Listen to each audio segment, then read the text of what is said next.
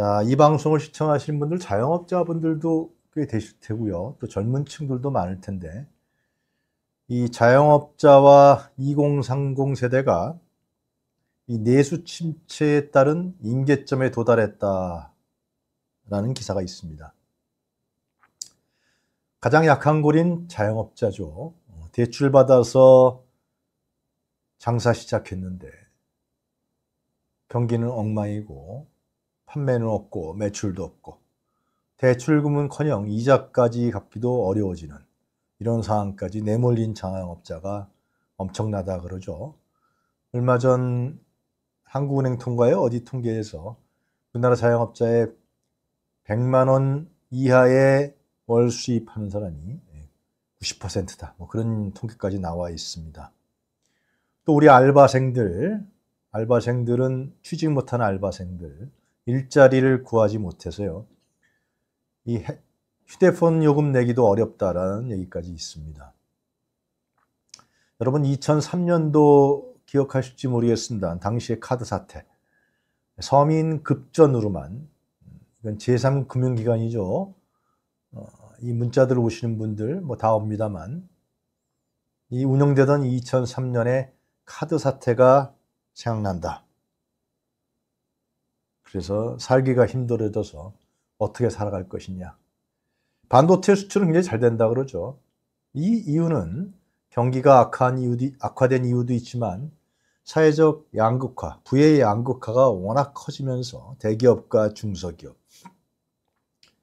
서울과 지방, 강남과 강북 이런 양극화 현상이 계속 심해지고 윤석열 정권의 부자 감세라든가 이러한 정책을 통해 왔고 더욱더 악화되기 때문에 우리 서민들, 자영업자들, 또 우리 2030 젊은 층들이 더 살기가 힘들어졌다고 얘기해도 결코 과언이 아닙니다.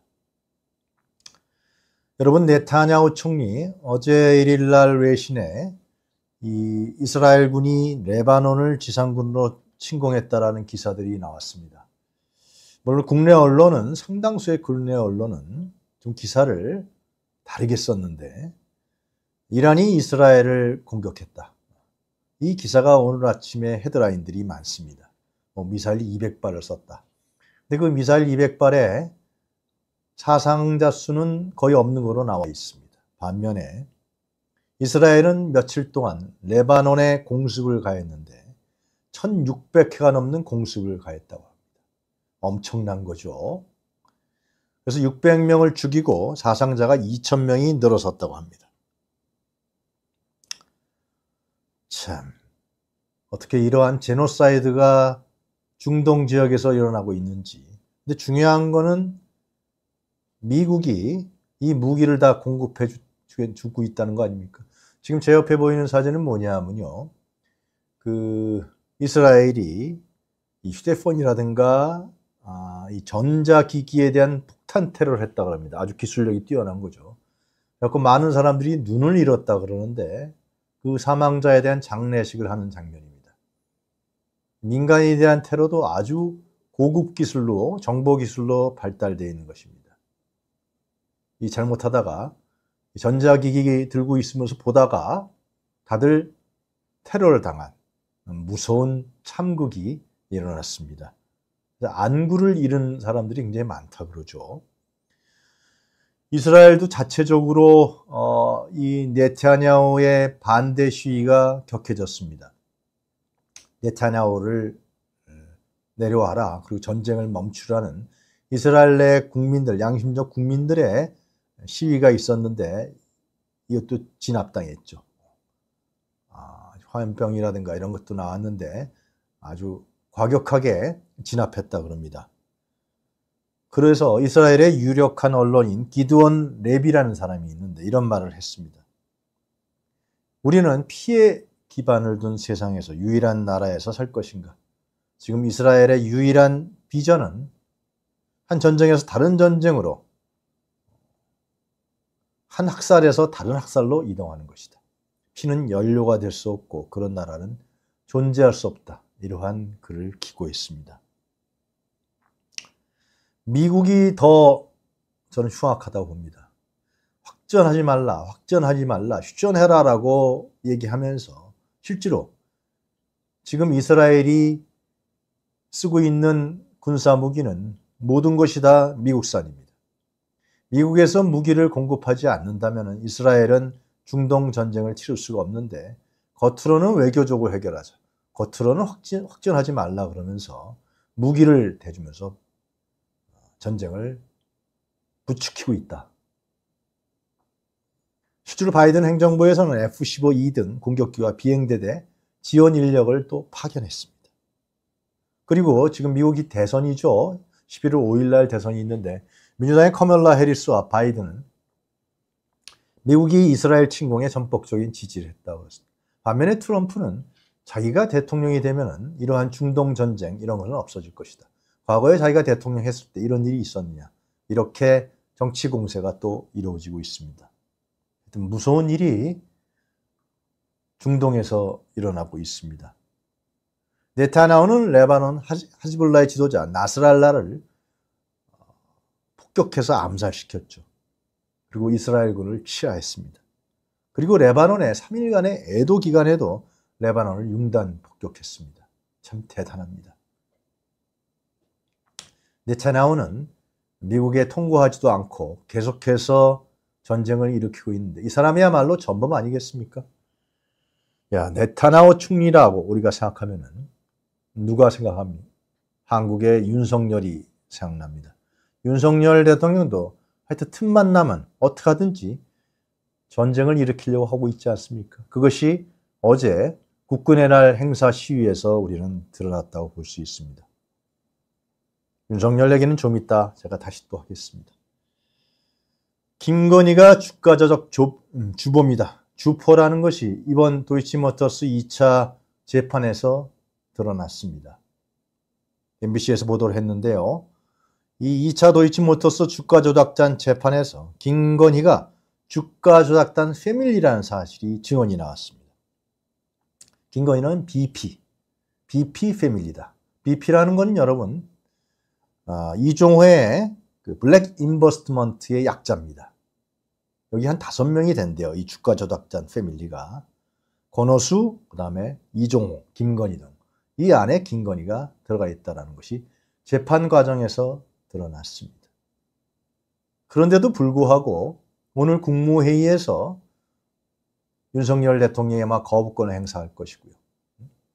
그리고 검찰은 아직도 김건희를 기소하지도 못하고 제대로 수사하지 못하면서 무혐의만 얘기하고 있습니다. 반면에 이재명은 이재명 죽이기에 혈안이 돼서 하여튼 위증교사 혐의로도 대법원 양형상 제일 큰 3년형을 때리고 얼마 전에도 허위 기억죄, 예, 허위 기억죄 10년 전에 있어 난 몰랐다. 이걸 갖고서 선거에 영향을 미쳤다는 허위사실 공표죄로 2년 구형을 때렸습니다. 세상이 어떻게 이렇게 돌아갈 수 있을 까요? 자기네들 위중교사는 누가 했습니까? 오늘 아마 이제 국회에서 법사위에서 청문회가 열립니다만 모회 위중교사 했던 박상용 검사, 김영철 검사 많은 의혹과 정황들이 드러나고 있죠. 자기네들이 내놓고 위중교사를 했으면서 이재명 대표를 말도 안 되는 조작 수사로 그리고 딱 그분만 떼어내서 3년 구형 또 2년 구형을 때는 이 검찰의 악에 바친 기소행위, 악에 바친 마지막 행위들, 이 문제가 드러나고 있는 것입니다. 여러분, 박희영 용산구청장 기억하시죠? 박희영 구청장이 무죄를 받아버렸습니다. 어떻게 또 이런 일이 발생할 수 있을까요? 네. 이태원의 유가족들이 절규했다 그러는데요. 무죄 받고 나오는 박희영의 차를, 차를 둘러싸고 못 가게 했지만 박희영은 법원에서 무죄를 받았습니다. 박희영이 이태원 참사가 일어났을 때 한 말이 있습니다. 제가 읽어드리겠습니다. 전략적인 준비를 다 했다. 다 해왔다. 구청에서 할 수 있는 역할은 다 했다. 아, 저렇게 철면피 뻔뻔할 수 있을까요? 사진 좀, 좀 크게 키워주세요. 얼마나 뻔뻔스러운지 우리 시청자분들 좀 봐야 돼요. 이건 축제가 아니다. 그냥 할로윈데이에 사람들이 알아서 모이는 하나의 현상이다. 현상? 아, 현상을 막지 못한 그 지역의 구청장은 현상범입니까? 현상범. 끝까지 물러나지 않고 버티던 박희영. 결국 법정에서 무죄를 받았습니다. 보석 신청으로 석방되었던 박희영. 5개월 만에 뭐 아프다 그래서 보석 신청해서 또 재판부가 받아들였죠. 가진 백은 다 썼을 것 같은데 몰래 구청에 출근했다가 걸렸던 일도 있습니다. 이 당시에 유가족들이 뭐라 그랬냐 하면요, 여러분. 박희영이 공황장애라고 하면은 유가족은 살아 숨쉬는 시체다. 이런 얘기를 했습니다. 처참한 얘기들입니다. 제가 지난 토요일 날 시청 앞 집회에 나갔을 때 우리 지한이 어머니를 우연히 뵀습니다. 지한이 어머니와 아마 이태원 유가족 분들이 식사하시는 모습을 봤는데 다들 아무 얘기도 안 하고요. 그냥 묵묵히 식사만 하시더라고요. 묵묵하게 아무 얘기도 안 하고 그 장면을 보면서 참 세상이 어떻게 이렇게 돌아갈 수 있느냐. 역사는 국민의 승리고 민중의 승리라 그러는데 왜 윤석열 정권에 와선 이렇게 힘들고 안타까운 일만 일어나고 정의가 살아 숨쉬지 않느냐. 이런 생각을 그날 우리 지한이 어머니를 보면서 제가 생각을 했습니다. 재판부는요, 핑계를 삼은 건지 뭐 하는 건지 모르겠습니다. 검찰에서 제대로 수사 안 한 것이 제일 문제죠. 이 사람들을 재난안전법이라고 그랬는데 재난안전법에는 이 구청의 역할이 명확하지 않은 모양입니다. 그래서 재난안전법에 입각해서 무죄를 선고했다. 유가족들은 검찰의 부실 수사로 이루어진 참담한 사법 참사다. 이렇게 이야기했습니다. 어, 제가요, 어제 제가 존경하는 신부님하고 전화 통화를 했는데 오래간만에 했습니다. 신부님하고 제가 별 소리도 안 했는데 신부님 말씀이 진짜 마귀다. 누굴 얘기하신지 알겠죠? 마귀야 어쨌든 그 사람들은 다 마귀라고 얘기하시더라고요. 아마 신부님들은 음, 성경이라든가 또 신앙생활을 오랫동안 하시면서 마귀가 무엇인지를 잘 아실 텐데요. 그래서 마귀에 대한 이 성경에 나오는 용어까지 쓰시면서 저에게 설명을 쭉 하셨는데 마귀는 말이죠. 자기 내면의 소리를 듣고서 행동하는 그리고 말하는 사람이 아니라 외부의 악령, 그 외부의 악령이 바로 마귀죠. 이 마귀의 외부의 악령에 의해서 생각과 사고를 결정한다는 것입니다. 악령이 그래서 마귀를 만든다는 것이죠. 아주 절실하게 말씀하시더라고요. 마귀야 어쨌든 마귀야 어쨌든 이 얘기를 서너 번을 하시더라고요. 그 신부님의 조남은 제가 밝히기가 참 어렵습니다만 그러면서 말씀하시는 게 마귀는 하나님은 세상을 단결시키고 하나로 만들어가는 계시를 하신다. 그런데 마귀는 세상을 분열시킨다. 윤석열 봐라. 얼마나 우리 사회를 분열시키느냐. 이런 말씀을 하시더라고요. 무당도 마찬가지다. 무당도 마귀의 일정이다. 무당도 뭐 신에 쓰였다, 신에 신이 들렸다는 얘기 하잖아요. 또 외부에서 악령이 씌운 것이다. 무당 하면 또 여러분 생각나시는 사람 있죠? 네. 마귀야 어쨌든. 그래서 제가 그랬어요. 마귀를 어떻게 쫓아버려야 되는 거 아니에요? 그 놔두면 안 되잖아요. 그랬더니 성수를 뿌려야 된다. 그래서 성수를 뿌려서 마귀를 쫓아내거나 없애버려야 된다. 이런 말씀을 저에게 하셨습니다. 이런 말씀 잘 안 하시던 점잖은 분인데, 네, 하여튼 오늘 마귀야 어쨌든 신부님의 말씀으로 뉴스 commentary 뉴스 브리핑을 시작하겠습니다. 군사 퍼레이드를 감행했죠. 무슨 뭐 남태령 고개에서 그 가두 퍼레이드를 했던 전차가 서버렸어요. 저도 어제 다른 일이 있어서 시내를 들어가는데 저희 동네 근처에 큰 도로에 이 전차들이 지나가는 모습을 봤습니다.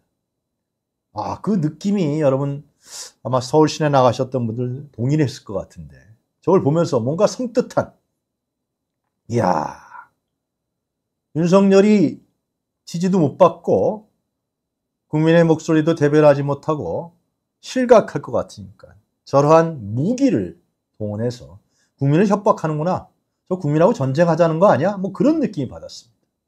거기에 어린 병사들이 이 장갑차 위에 올라타서 그 안, 뭐야, 그 뭡니까? 안경 같은 거 쓰고서 이 손을 흔들던데 국민들은 다 사진을 많이 찍더라고요.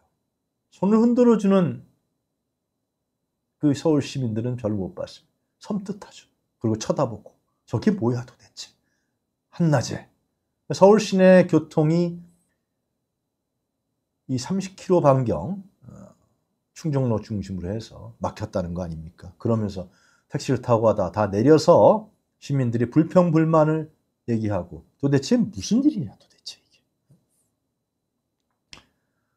윤석열은 네 윤석열 그 준비된 동영상 있죠. 그거 보면서 또 다시 한번 얘기하겠습니다.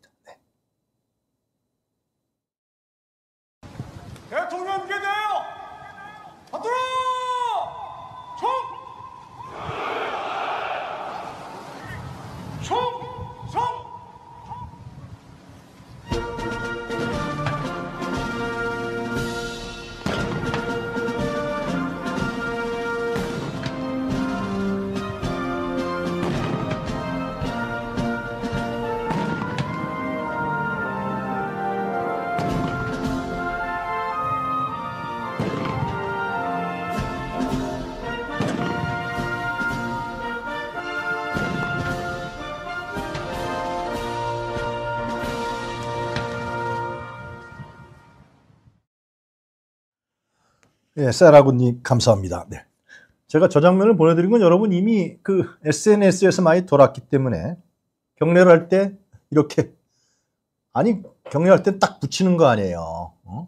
군대를 안 갔다 오셔갖고 이 경례가 뭔지도 모르는 지난번 군 행사에서는 부대 열중 쇼로 쇼로 아주 국민들의 집중을 받았던 윤석열 이번에는 경례도 잘 못하면서 군 통수권자가 그 동영상을 보여드렸습니다. 한심한 군 통수권자입니다. 정말. 경례도 제대로 못하면서 무슨 국군을 통솔한다 그러고 군사 퍼레이드 하면서 폼 잡습니까? 예. 하여튼 어제 서울 시내에서 아니면 저 장면을 보시면서 야 섬뜩한 느낌을 갖고 그러나 그 섬뜩한 느낌은 분노로 화하고 저 정권은 도대체 과거 전두환 정권에서 못된 것만 배웠구나. 음. 이런 생각을 여러분들이 가졌을 것 같습니다. 경례도 제대로 못하, 못하지 못하고 부대 열중쇼도 제대로 못하는 군 통수권자. 이것을 우리는 윤석열의 병정 노름이라고 명명하겠습니다. 자, 어제 여론조사가 나왔죠. 여론조사 곳에서 나온 여론조사 한번 보겠습니다. 지지율 ARS 조사와 전화 면접 조사를 항상 하는데 ARS 조사에서는 21% 가장 낮은 숫자죠. ARS 조사에서는 이거는 결국은 ARS 조사는 여러분들 잘 아시겠지만 각 지지층들이 서로 경쟁적으로 응답하는 거에 따라 달라지는데 이 70대 이상의 윤석열 지지층들이 대답을 안 하고 응답률이 낮아졌다는 거죠. 얘기를 안 하는 거죠. 전화 면접 조사도 22% 나왔습니다. 20% 이하만 떨어질 날이 남은 거죠. 네. 그런데도 오늘 막무가내 윤석열은 국무회의에서 김건희 특검법 거부권을 행사하겠다고 합니다. 할 때면 해봐라. 나에게는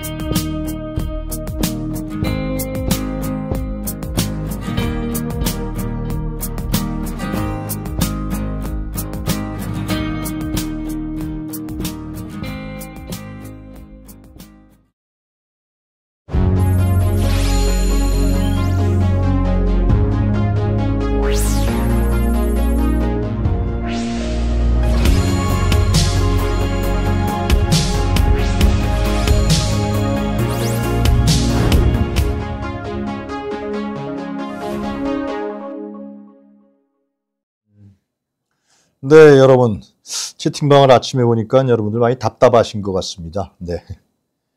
많이 스트레스 받으시고, 어, 많이 답답하시죠? 네.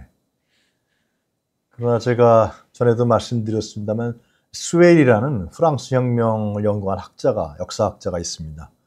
프랑스 혁명 같은 역사적 대사건, 조그마한 사건들이 축적되고 그것이 쌓여가면서 역사적 대사건이 일어난다 하는 연구가 있습니다.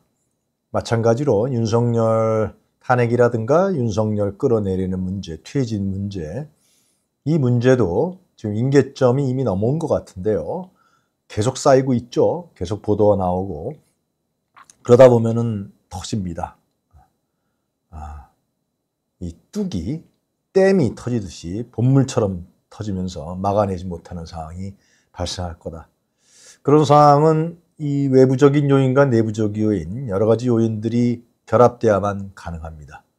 우리 한국 정치사에서 봤듯이 4.19 혁명, 또 87년 6월 항쟁, 그리고 촛불 항쟁의 그 역사적 어원이라든가 역사적 그 흐름을 보면은 그 사건들이 계속 쌓이면서 특히 87년 6월 항쟁은 학생들의 희생, 민주화 운동가들의 희생이 쌓였고 그것이 박정철 고문 사건, 또 선거문 사건 어, 이런 사건들이 축적되고 그러면서 대 역사적 사건이 일어난 것입니다. 4.19 혁명도 마찬가지죠. 이승만의 부정부패, 그리고 3.15 부정선거, 그리고 고등학생들의 봉기, 대학생들의 봉기 이런 부분들이 쌓이면서 이승만은 권자에서 대한민국의 아버지를 자처했던 이승만은 권자에서 물려났던 것입니다. 촛불항쟁도 마찬가지죠. 촛불항쟁도 어, 그동안에 박근혜가 저질렀던 그 비행, 과거로 돌리려고 했던 퇴행 이런 부분들이 결국은 박근혜를 찍었던 어, 어르신이라든가 많은 사람들이 거리에 나가서 촛불을 들고 박근혜를 몰아내고 헌재도 탄핵을 인용하게 만들었습니다. 자, 오늘 어, 뉴스 코멘터리 많은 분들이 들어오셔서 지금 채팅방에서 이야기를 많이 해주시는데요. 이 언론에서 잘 보도하고 있지 않은 이스라엘 과 레바논의 중동 전쟁이 이제 거의 시작됐다고 봐야 되는데 이 문제부터 간단하게 짚고 시작하겠습니다. 이스라엘 지상군이 레바논을 침공했습니다. 물론 부분 침공이라 그래도 18년 만에 블루라인을 블루라인을 넘었습니다. 네타냐후가 이스라엘의 전쟁광 네타냐후 총리. 근데 흥미로운 사실은 미국 바이든 행정부가 전폭적인 지지를 얘기하고 있습니다. 반면에 헤즈볼라는 지상전에 강하죠. 그 지난번에도 한번 이스라엘이 레바논을 침공했지만 헤즈볼라의 지상전에 막혀서 다시 퇴각한 30일 만에 퇴각한 사례도 있습니다. 만만치 않을 거라는 거죠. 어, 결국은 이스라엘의 의도대로 어, 자신들이 영토를 확보해서 거기에 이스라엘 사람들을 정죽해 하는 일이 헤즈볼라 사람들을 레바논 사람들을 몰아내고 한다는 것은 결코 쉽지 않다. 그것은 뭐 이스라엘 헤즈볼라 레바논 문제뿐만이 아니라 아프가니스탄이라든가 또 이락이라든가 어, 이러한 사례에서 미국이 전쟁을 했지만 결국은 지상전에서 막혀서 퇴각했습니다. 베트남 전쟁이 가장 모험적인 사례다라고 볼 수가 있는 것이죠. 어, 레바논 측에서는 유엔 헌장과 국제법, 또 국제 인도주의법, 모든 국제 규범과 인도주의 원칙을 위반했다. 라고 유엔 총회에서 아 유엔 이사회에서 항의했습니다. 그리고 지난 1년 이스라엘은 무차별적인 군사 교공을 통해서 4만 2천 명을 학살했습니다. 그것이야말로 제노사이드가 아니고 모르겠, 뭐이겠습니까? 중동이 전면전을 향해서 질주하고 있습니다. 그런데 이번 전쟁의 수혜자는 이제 11월 2일 날 미국 대통령 선거가 있습니다. 이 문제도 한번 저희가 알아봐야 될 것 같은데 이번 전쟁의 수혜자는 누구냐? 바로 트럼프라는 겁니다. 에, 미국에서 여론조사가 있었는데 아랍계 미국인들이 아랍계 미국인들이 급격하게 트럼프 지지로 옮겨가고 있습니다. 해리스는 바이든 행정부의 외교 정책을 가져가기 때문에 결국은 이, 이 문제에 대해서 중동전이 발발하고 어, 전 세계적으로 큰 혼란이 다가오는 문제에 대해서 해리슨도 바이든과 함께 책임을 질 수밖에 없는 민주당에 그래서 어, 이 트럼프 해리슨 가상 대결에서 트럼프가 오차 범위 이상에서 역전하는 이런 상황이 발생했습니다. 결국 이 전쟁은 네타냐후라는 전쟁광 자신의 정권을 유지하고 자신이 권자에서 내려오기 내려오지 않기 위한 하나의 발광적인 그러한 전쟁을 일으켰다. 우리가 이렇게 규정해도 결코 무리가 아닙니다. 프랑스나 미국이 나가서 외교적으로 이것을 중재하고 더 이상 아랍의 전쟁이 발생하지 않도록 확전되지 않도록 애꿎은 국민들 아, 레바논의 국민들이 희생당하지 않도록 해야 되는데 그런 움직임은 별로 보여지고, 보여지고 있지 않다. 이런 말씀 드리면서 저희가 준비한 모닝 이슈톡부터 보시고 돌아오겠습니다.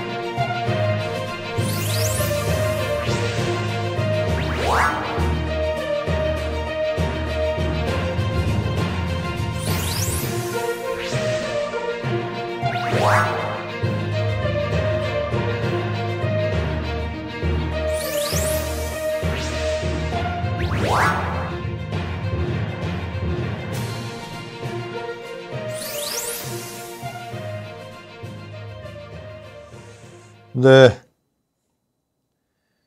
여러분 오늘 어, 처음 시작하자마자 어, 회원 가입해 주신 우리 초이님인가요? 제가 또 잠깐 까먹었어요. 네.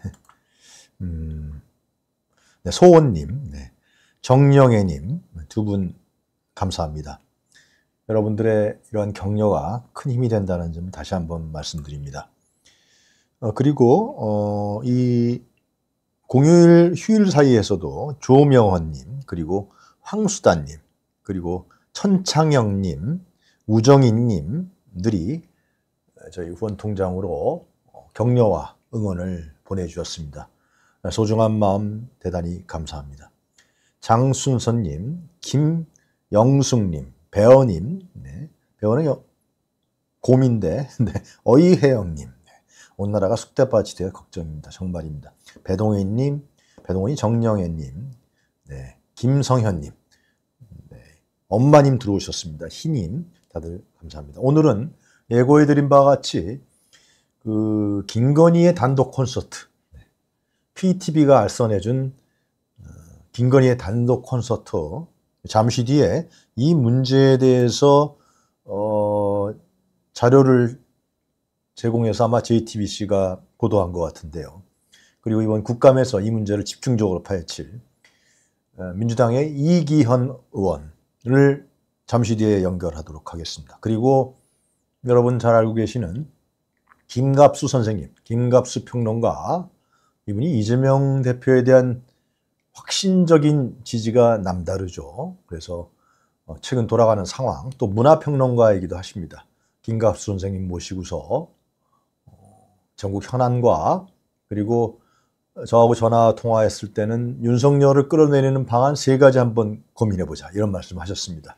윤석열을 어떻게 끌어내릴 건지 뭐 탄핵도 있고 여러 가지가 있는데 그 문제에 관련해서 이야기해 주실 생각입니다. 그리고 어, 10월 2일 날 박상용 검사 탄핵 소추 어, 청문회가 있었죠. 여기에 증인으로 나가셨던 김광민 변호사, 이화영 전 부지사의 변호인이시기도 하죠. 김광민 변호사 모시고서 그 검사 탄핵 청문회가 어떻게 이루어졌는지, 어, 어떤 문제점들이 드러났는지 자세하게 알아보도록 하겠습니다.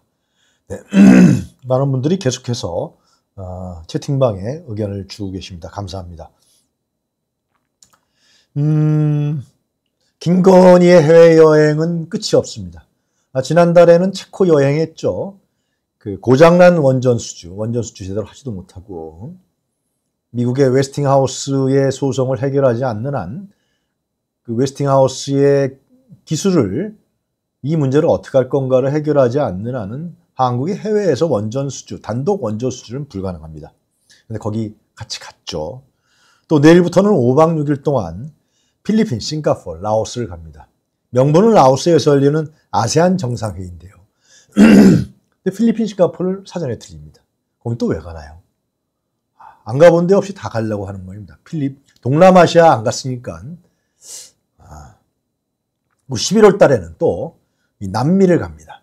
페루에서 APEC 정상회의, 브라질에서 G20 정상회의가 열리는데 아마 이 페루나 브라질 가기 전에 또 딴 데 가겠죠. 남미, 라틴 아메리카 가기는 참 쉽지가 않습니다. 워낙 그 비행기 코스가 길기 때문에 김건희는 또 가보고 싶다고 했겠죠. 거기 왜 따라가는 거예요 도대체? 왜 따라가는 게 아니라 자기가 데리고 가는 거죠. 국내 국내 문제 문제가 골치 아프니까 해외 여행 가자 뭐 그런 속마음도 있을 것이고요. 그리고 거기 나가서 해외에 나가서 뭘 갖고 나가는지, 뭘 사갖고 들어오는지, 무엇을 사는지 진짜 궁금합니다. 매달 나가고 있습니다. 고삐 풀린 망아지처럼 108명의 국민의힘 의원만 잘 단속하면 된다. 그런 심산인가요?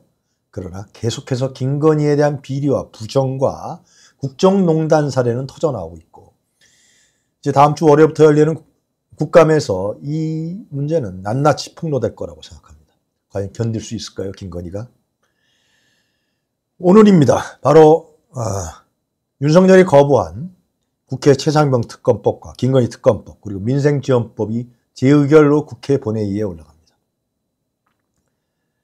국민의힘에서는 전혀 문제가 될 것 같지 않다 얘기하고 있습니다만 언론 보도라든가 저희들이 취재한 바에 따르면 국힘 내부가 많이 흔들리고 있다. 김건희가 사과해야 된다. 이런 목소리가 나오고 있습니다. 물론 한동훈이가 새 가슴이기 때문에 오늘 어느 정도의 이탈표를 보여줄지는 미지수입니다만 잘 못 보여주겠죠. 어. 그러나 하여튼 간에 이번 오늘 재의결 부분은 상당한 부담감을 가질 수밖에 없는 것이죠. 김건희의 국정농단, 공천 문제, 또 도이치모터스 주가 조작이 주범이라는 부분까지도 폭로됐고 여러 가지 사항들이 연일 하루에도 두세 건씩 특히 명태균이라는 사람이 도전하고 있고 반발하고 있고 다 폭로하겠다라고 녹취록을 까고 있습니다. 이런 상황에서 국민의힘 의원들이 재의결 부분에 또 반대한다. 여론은 더 악화될 것이고 그리고 10월 16일 날 재보궐선거에서 국민의 심판을 받을 것이 명확합니다. 어제 보도된 것도 참 대단한 일이 있었습니다. 김건 작년 10월 31일 KTV가 8,600억을 예산을 들여서 김건희의 나홀로 관람 단독 콘서트를 기획하고 갖다 바쳤습니다. 그 관중은 아무도 없고 오직 김건희만 있었습니다. 김건희와 뭐 기타 등등이 몇 명 있었죠. 네, 참 대단합니다. 김건희의 왕국이라는 것이 다시 한번 표면적으로 드러났습니다. 윤석열 대통령은 참석하지도 않았습니다. KTV는 이것을 녹화했다고 하는데 그래서 해외 홍보를 위해서 아, 부산 엑스포를 위한 홍보 행사였다 그러는데 유튜브에다 올려놨는데 조회수가 500여 회밖에 안 됐습니다. 이거는 김건희를 위한 완전히 단독 콘서트죠. 거기에 참석했던 몇몇 사람들, 기획했던 사람들은 공천받으려고 한 것인가요? 네. 참 대단한, 대단한 나라입니다. 어떻게 김건희라는 사람이 이거 하나뿐이겠습니까? 지난 총선 전에 공천 받기 위해서 많은 따라지들이 어? 김건희를 위해서 충성을 다하고 김건희를 위해서 뭘 할 수 있을 것인가 기획하고 그것을 김건희가 받아먹고 누구 돈으로요? 우리 세금으로 우리가 낸 세금으로 이 사실들이 계속해서 터져나오고 있습니다. 명태균이라는 사람이 요즘에 하여튼 도마에 올라가 있는데요. 명태균의 말말말을 한번 제가 정리해봤습니다. 너무 많아서 골랐는데요. 윤석열, 이준석 치맥 회동을 하게 한 것이 바로 나다. 내가 김건희 여사에게 전화한다고 전해라. 국회의원 누가 줬나? 김영선 공천도 명태균 때문에 줬는데.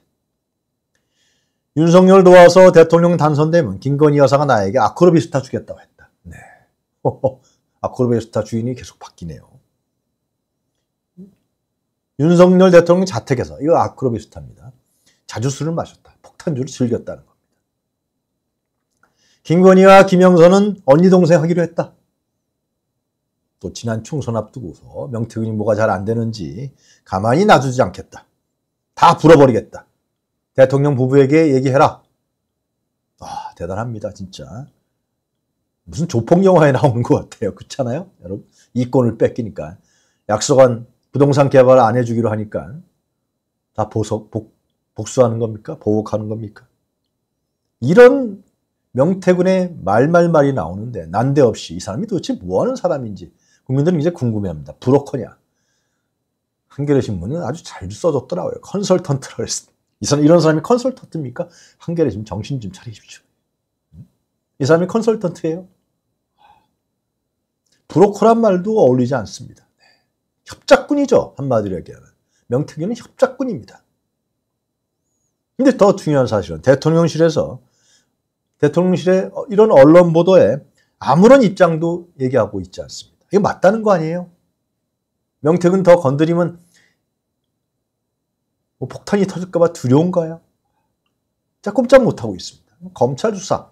김영선이 명태균에게 돈을 줬다. 이거 하나만 지금 뭐 검찰에서 수사한다 그래요.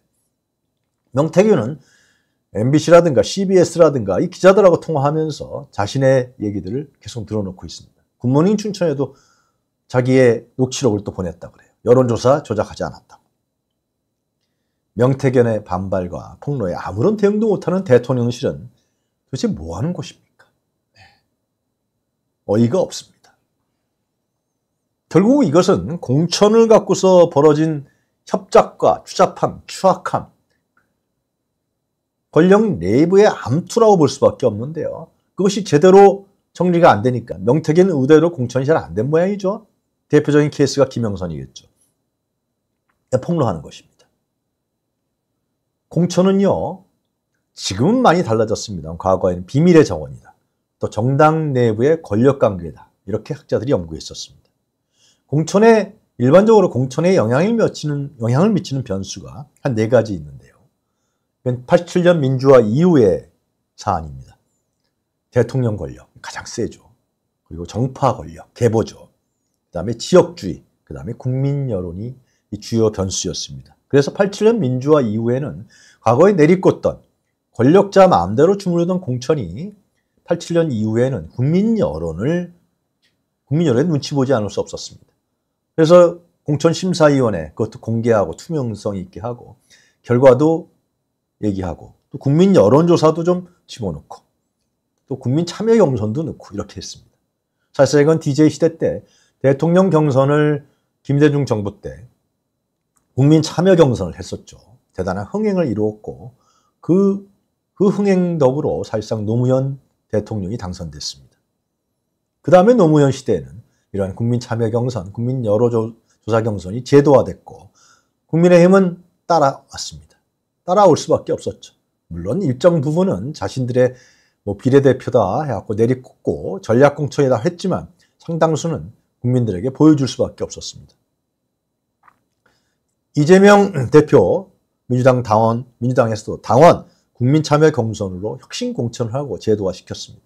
이제 국회의원들은 당원과 국민들의 여론을 살피지 않을 수밖에 없고 눈치 보지 않을 수가 없습니다. 왜냐? 다음에 또 총선에서 경선에 나가서 아, 공천장을 받기 위해서는 당원과 국민이 무엇을 원하는지 바라는지 해야 되기 때문에 그래서 사실 정당이 다시 잡히고 정당 민주주의, 의회 민주주의가 제도화되는 것입니다.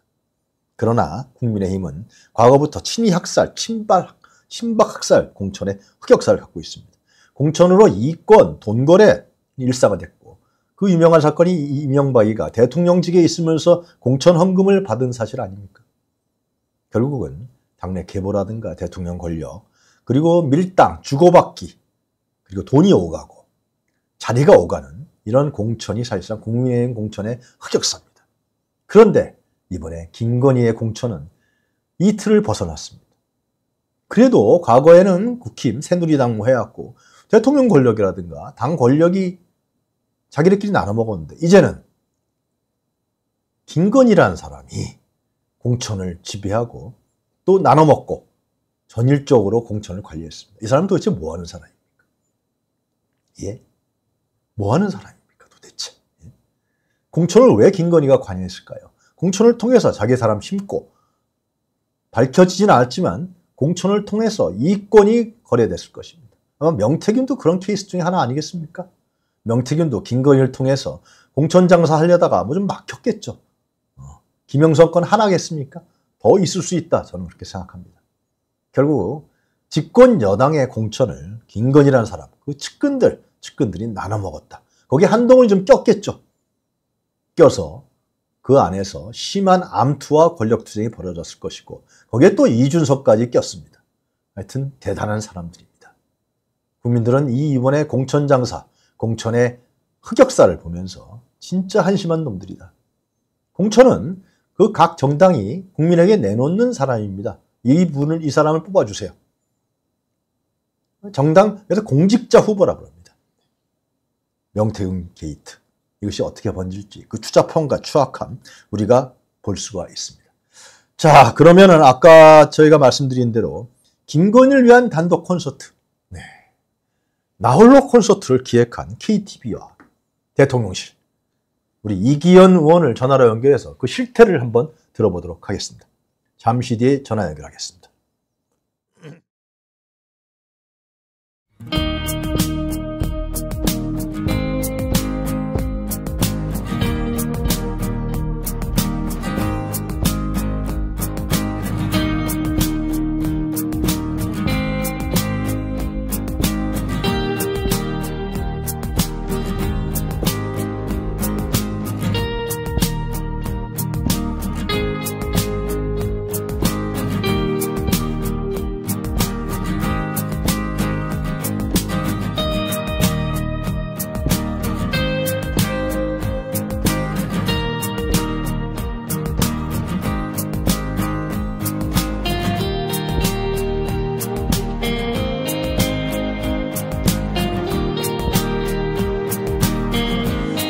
네, 음, 지금 전화로 이기현 국회의원 연결되어 있습니다. 의원님 안녕하십니까? 네, 오랜만입니다. 네, 감사합니다. 예. 어제 JTB 보도가 제가 보니까 의원님 인터뷰가 있더라고요. 네. 보니까 의원님께서 이 문제를 국감을 앞두고 집중 파헤친 것 같은데요. 네, 그렇습니다. 네. 그, 하여튼, 깜짝 놀랄 만한 사실은, 김건희 왕국이 맞구나. 뭐, 저는 그런 느낌을 받았는데, 이 KTV가 작년 10월 31일 날 방영한 구악 콘서트. 유명하신 분들 많이 나왔던데 아주. 네. 네. 이것이 김건희와 일부 수행원만 관람했습니다. 이 문제부터 좀 짚어주시죠, 의원님. 네, 저희들이 이제 네. 제보를 통해서 확인한 내용인데요. 아, 예. 음. 네, 작년 10월 31일 날, 음. 어, 장소는 청와대 관저입니다. 아, 청와대 관저요? 네, 관저 마당인데요. 아, 과거 저 문재인 대통령이 있었던 아, 네. 네, 사생활의 음. 공간이어서 네. 청와대에 계셔서 오랫동안 근무하신 분도 음. 그 관계에 가실 일이 많지가 않습니다. 아 그래요? 예, 예. 아. 청와대 내에서도 내밀한 곳이고 네. 어. 대통령의 사생활이 예, 보장되었던 공간입니다. 어... 이곳이 이제 공사가 진행된 91년도로 제가 기억하는데 네네. 태 대통령서부터 역대 대통령들께서 어, 관저로 사저로 사용 사저는 아니죠 관저로 사용했던 네. 공간의 마당에서 네. 공연이 소규모의 공연이 있었던 것입니다. 아. 대단히 우려스러운 것은 이러한 공연이 KTV라고 하는 예. 대부의 소관 기관인데요. 네. 그 예산이 많지 않은 기관입니다. 주로 음. 방송 중계를 하는 네. 정을 홍보하고 음. 저의 행사를 중계하는 음. 것이고 네. 예산을 들여서 기획하는 행사를 거의 하지 않습니다. 어... 그런 예산도 없고요. 그래서 네. 거의 실비의 중계료만 받고 인력을 음. 동원해서 네. KTV 운영하는 곳인데 네. 대한 정부 예산, 자기들이 가지고 있었던 예산 중에 무려 8,600만 원이라고 하는 돈을 들여서 네. 내밀한 곳에서 음. 아주 소대 인원만을 물론 그들이 주장하는 여러 가지 이유가 있습니다만 네. 어, 나중에 휴에 더 확인되겠습니다만 예. 계속 거짓말을 하는 행위들이 벌어지고 있어요. 아 그래요? 음. 예, 예. 처음에는 아시다시피 음. 부산 엑스포 유치를 위한 홍보전을 네. 으로 음. 어, 자기들 처음에는 그런 얘기를 했다 나중에 번복합니다만 예. 대와 그다음에 제외 공간의 음. 대사들 그리고 기업인들을 초청해서 어, 공연을 하고 그것을 중계하겠다라고 했는데 나중에 예. 다 흐트러집니다. 아. 최종에 남는 건 김건희 여사와 일부 소수의 수행원들이 그 공연을 보았고요. 네. 그리고 이것을 사실은 부산 엑스포 유치를 위한 예. 을 촉진하기 위한 행사라고 하면 더 많은 대중 공연 공개된 공연을 했어야 하고 예. 그래서 홍보 수단을 통해서 홍보했어야 되는데 그렇지 않고 자기들 홈페이지에 걸어놓고 음. 뭐 유튜브라든지 네. 대중하기 쉬운 그러한 홍보 수단을 사용하지 않았습니다. 네. 적절한 행위이고 네. 뭐 정부 예산을 사적으로 이용한 음. 또 선의를 가지고 부산엑스포라고 네. 하는 국 민적 공감대를 올리는 행사라고 알고 참여한 네. 정말 원로의 대한민국의 최고의 무형 문화재 예술인들께서 얼마나 어, 분노하시고 상심하셨을지 생각해 보면 분이 치밀어 오릅니다. 그 무형 문화재 그 국악인들도 많이 참여하신 거죠 거기에요. 네 그렇습니다. 아, 그런데 거기 저도 이제 그 뉴스를 봤습니다만은 네. 김건희가 나홀로 앉아 있고 어? 그 다음에 그 옆에 그 앉아 있던 사람이 있는데 당시에 하종대 KTV 사장도 보이더라고요. 네, 저 제가 뭐저 음. 뒷모습만 봤습니다만 예. 어, 저희들이 확인한 바 언론에서 확인한 바에 의하면 하정대 네. TV 원장 저 네. 일부 출신이죠. 네. 문화체육 비서관 그다음에 문화체육 그 선임 행정관 네. 청와대자들 일부와 예. KT 원장과 그 간부들 어. 일부 공연을 관람한 것으로 그렇게 확인이 되고 있습니다. 네. 대통령실에서도 문화체육 비서실에서 나온 네. 겁니까? 그러니까 누가 나왔습니까? 어, 지금 언론 보도를 보면 네. 저희들이 그 인원들에 대해서 일일이 확인하는 데서 저희들 한계가 있었는데요. 예. ATBC의 취재 결과에 의하면 네. 문화체육 비서관 그리고 문화체육 선임 행정관. 아, 그 사람들 이름이 뭡니까? 비서관은? 네, 제가 지금 밖에서 있어서 네. 이제 이름까지 제가 공개하는 건 좀 어려울 것 같고요. 최모 그 비서관 아니에요? 현재는 네. 예, 현재는 음. 지금 쪽으로 들어와 아마 들어와 있는 것으로 제가 알고 있습니다. 정확하게 그 문제 좀 확인하겠습니다. 네, 채무 비서관 아닙니까? 제 기억으로는 네, 그런 것 같은데. 네, 그러, 그렇게 알고 있습니다. 그럼 그 사람들도 결국은 관여했다는 거 아니에요? 김건희를 위한 이 단독 콘서트 행사에? KTV가 네. 한국 정식 방송인데요. 네. 그, 그렇게 큰 조직이 아닙니다. 예. 대부의 소속 기관이기 때문에 문체 음. 인사주의를 받고 네. 그런 것입니다. 문화체육 비서관이라고 하면 그분들의 입장에서 보면 굉장히 높은 자리에 있는 사람들이죠. 그렇죠. 예. 예. 음. 봐야 할 겁니다. 아니 그러니까 KTV 예산이 저도 정확히 알 수 없습니다. 한 200억 정도 나올 될 거예요. 거기 기본 그 뭐야 그 거기 있는 직원들 응? 네. 월급이라든가 고정비로 아마 다 돼 있을 거예요. 거기서 8,600만 원 들였다 그러면은 연에 나... 이런 행사들이 기획되는 게 거의 한두 건이 되지 않습니다. 어... 아, 원래 기획 행사를 하지 않는 기관이고요. 네. 중계, 어. 그다음에 방송 송출, 네. 거기서 생기는 수수료 네. 이런 것으로 수입원으로 하고 있고, 예. 인건비가 대부분이기 때문에 예. 연 1억 가까이 되는 이런 기획 행사, 특히 이벤트 행사는 어, 거의 하지 않는 회사입니다. 아 그래서 이제 그 얼마 전에 얼마 전에 그 누굽니까 김대남이 그 보도도 있었잖아요. 어. 네. 그런 것처럼 이 사람들이 하종대라든가, 이거 추측입니다. 저의 내피셜로. 하종대라든가. 뭐 문화체육 그 비서관이나 행정관 이런 사람들이 김건희한테 뭔가 좀 잘 보이려고 이런 기획을 해서 공연한 거 아닌가 싶기도 한데요. 김건희 받아먹고 그게 핵심 아닙니까? 그렇다고 봅니다. 네. 저는 그렇다고 보고요. 예. 제가 뭐 JTBC가 방송 계속 취재를 해왔고 네. 저희는 조사를 했던 부분인데 네. 오늘 아마 저녁에 네.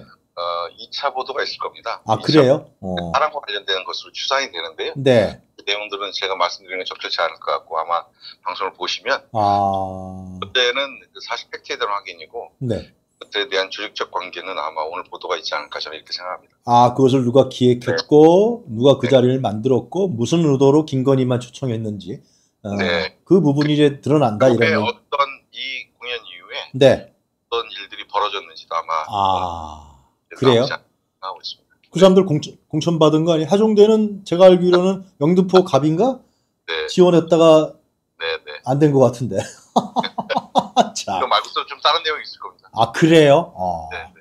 그러면 결국은 이 KTV 예산은 국회에서 승인 받아야 되는 예산 아니에요, 그죠?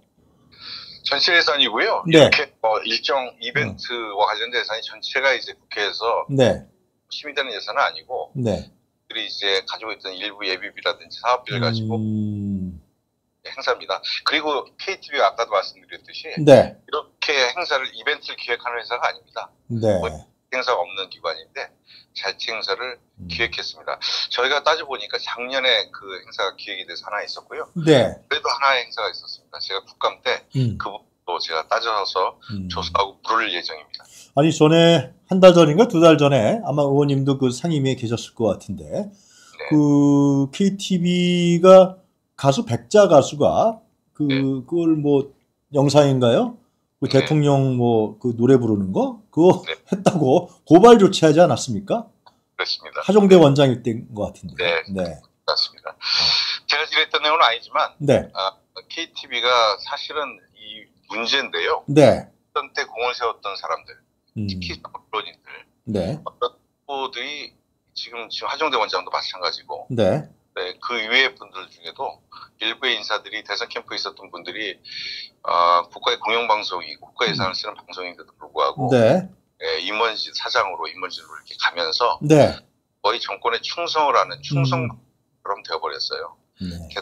아깝고 공공의 영역에서 공익을 가지고 어, 국가의 정책을 홍보해야 될 방송인데 네. 보면 살짝 틀어서 음. 대통령과 대통령 영부인의 음.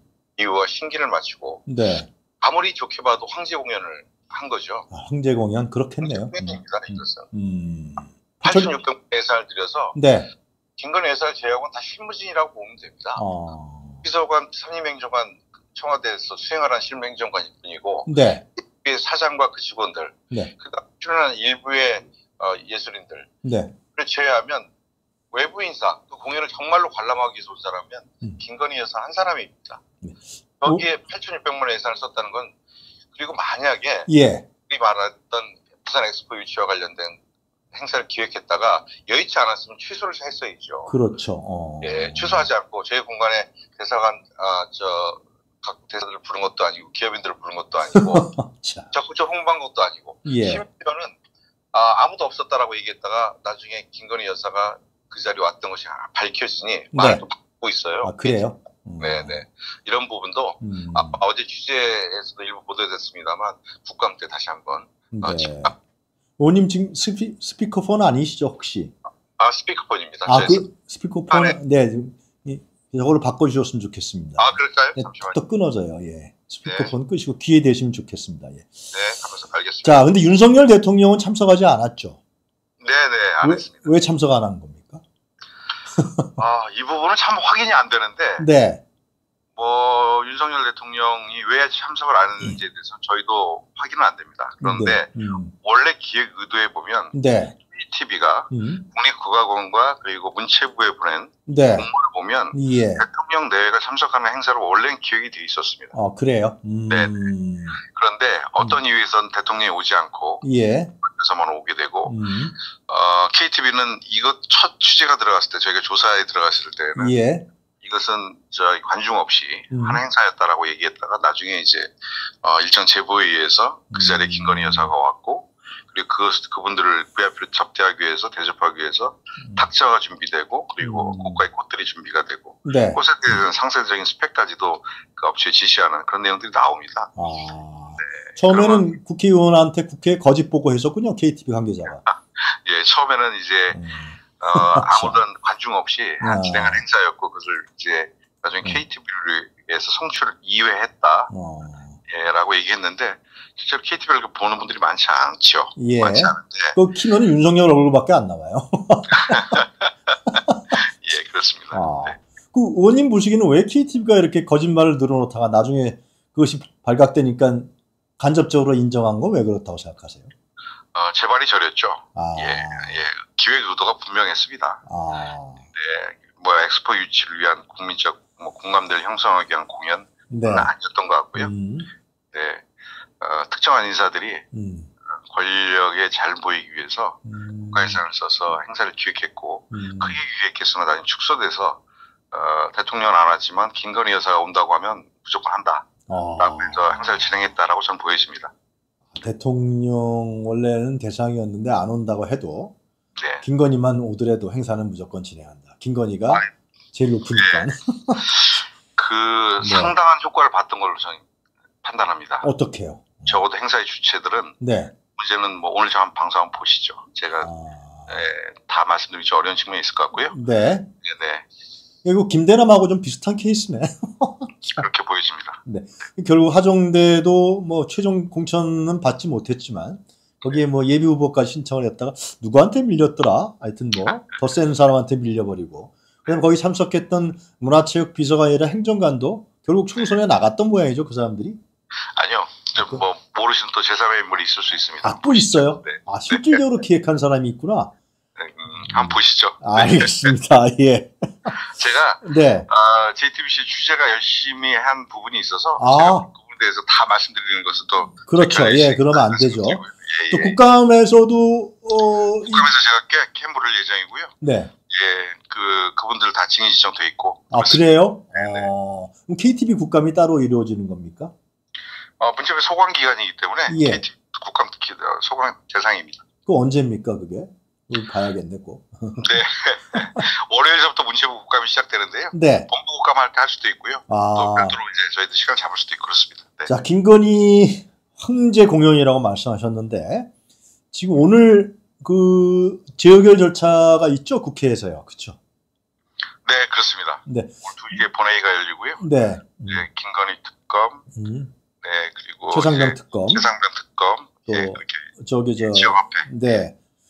이거 이거 어떻게 될 것 같아요? 결과가 의원님 보시기에는? 핵심은 김건희 특검일 텐데요. 네. 김건희 특검 관련돼서는 저는 국민적 여론이 이미 형성돼 있다고 생각합니다. 네. 국민들께서는 김건희 여사의 불법 행위가 음. 지금 뭐 하루가 다르게 늘어나고 있지 않습니까? 네네. 네. 예전에는 음. 도이치 모터스 주가 조작, 음. 이게 명품백 수수 사건이었다가 네. 음, 음. 여기 하나씩 둘씩 넘어 얹혀지다가 예. 최근에는 국정농단 사건에 준하는 음. 공천 개입, 인사 개입, 심지어는 국민의힘 아, 당무에 개입한 사건까지들 이제 늘어나고 있지 않습니까? 맞습니다. 그리고 이제 다 추가될 텐데 원인이 파헤친 황제 공연도 있고요 지금. 만약에 오늘 이것이 이제 부결되고 나면 네. 다음에 다시 저희가 국민의 여론을 받아서 특검을 재발의할 텐데 어. 그때는 의혹이 하나씩 둘씩 늘어나면 그 의혹도 다 넣을 수밖에 없습니다. 네. 어. 네.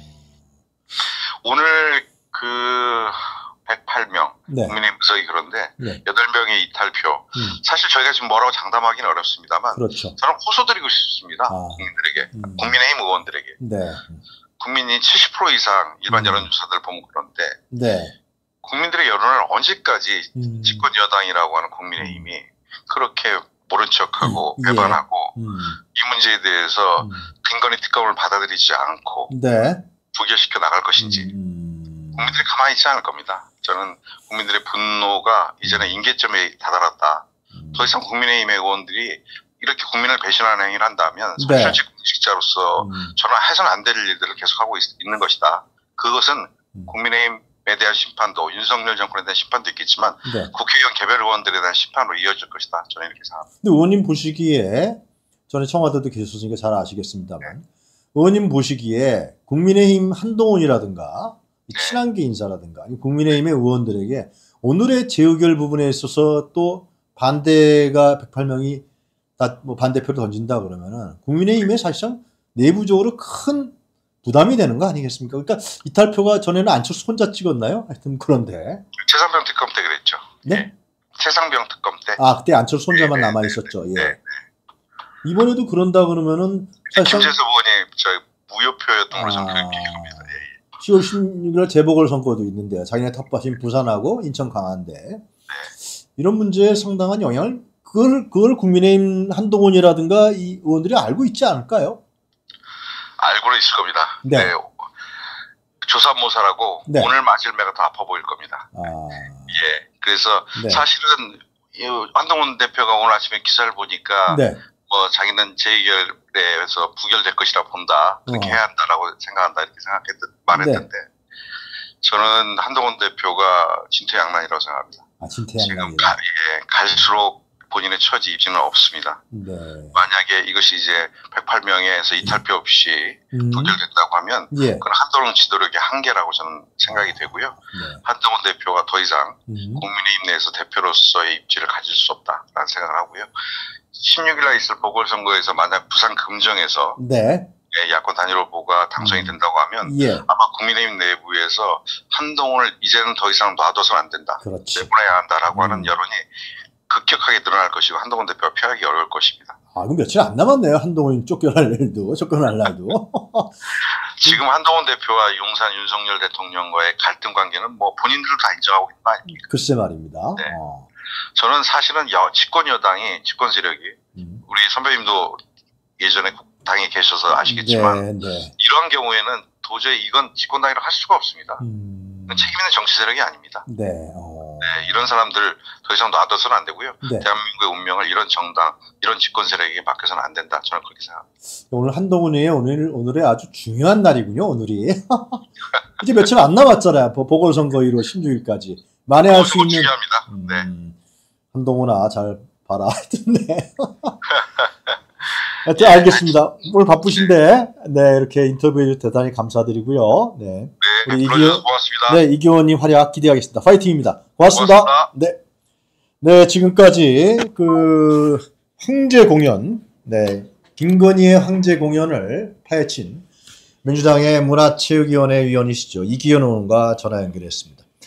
자, 네, 하여튼 채팅방에도 여러 가지 뜨거운 얘기들이 많은데요. 저희도 채팅방에서 건강하고 생산적인 네, 토론이 이루어졌으면 좋겠다 생각이 듭니다.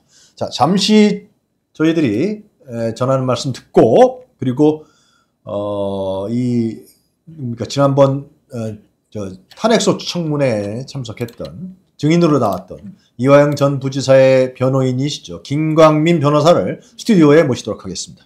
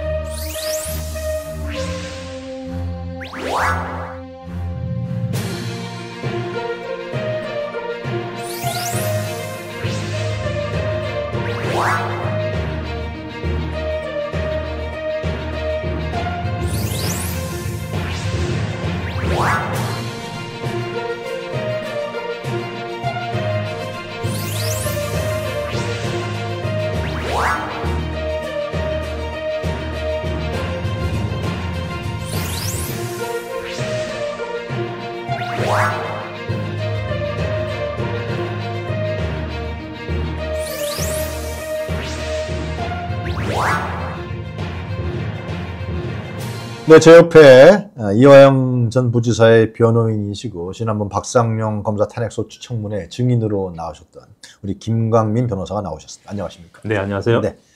어, 그날 저도 봤는데 네. 오전에는 제가 방송 때문에 못 보고 오후에 이제 봤는데 참 이화영 전 개인적으로 느낌이 이화영 전 부지사 진짜 힘들었겠다. 네.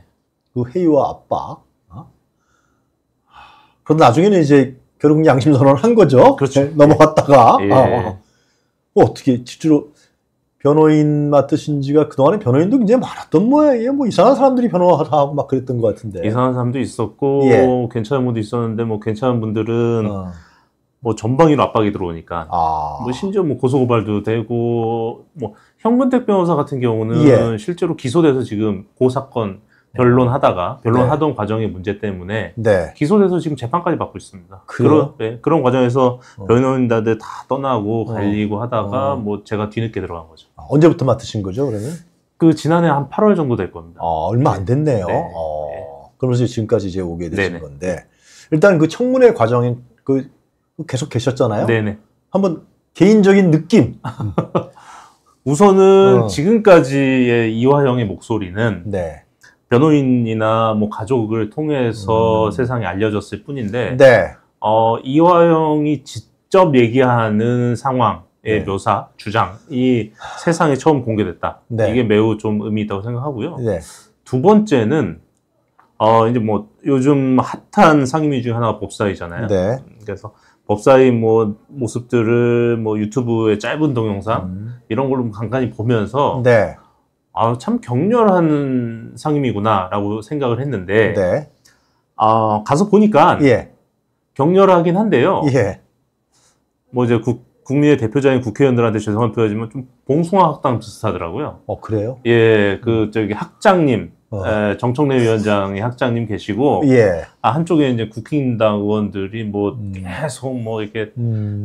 뭐라고 해야 돼? 아. 뭐 난동에 가까운 예. 뭐 이러한 맥락 없는 음. 그러한 뭐 회의 진행 방해 이런 네. 거뭐 학장님이 예. 어. 타이르고 훈수도 주고 뭐 이런 상황들 어. 좀뭐 허탈했고요. 네. 음, 그 다음에는 음. 중간에 그 하동혁이라는 통일운동가 분이 아, 그 사람이 아주 핫했어요. 아, 나오셨는데 네. 어. 깜짝 놀랐습니다. 예. 깜짝 놀랐고 어, 어 저는 어제 청문회 당일까지도 그분은 몰랐어요. 어, 어 몰랐고 저는 어 저분은 어떤 분인데 증인으로 나오셨지 했는데 예, 예, 어. 그분이 발언하는 순간 네. 와 어떻게 저... 변호인으로서 이 사람 하나 못 찾아냈을까? 아... 그리고 이분을 진작에 찾아냈으면 음... 아 물론 찾아냈어도 뭐 음... 1심 재판부는 뭐 요지우동이었겠지만 예, 예. 아 정말 이게 어. 재판함에 있어 참 수월할 수 있었겠구나 아. 이런 생각도 좀 했습니다. 그분이 증언한 게 결국은 그 대북송금 예. 이재명 대표에게 이재명 대표의 방북을 위해서 70만 불을 필리핀에서 네. 만나서 리오남한테 줬다 네. 김성태가 네. 이거였는데 그게 아니라는 것이 완전히 드러난 거죠. 그러니까 어, 어 사실은 이게 네. 좀 처음부터까지 말이 안 됩니다. 아, 그래요? 네, 뭐냐면. 처음부터 끝까지요? 다.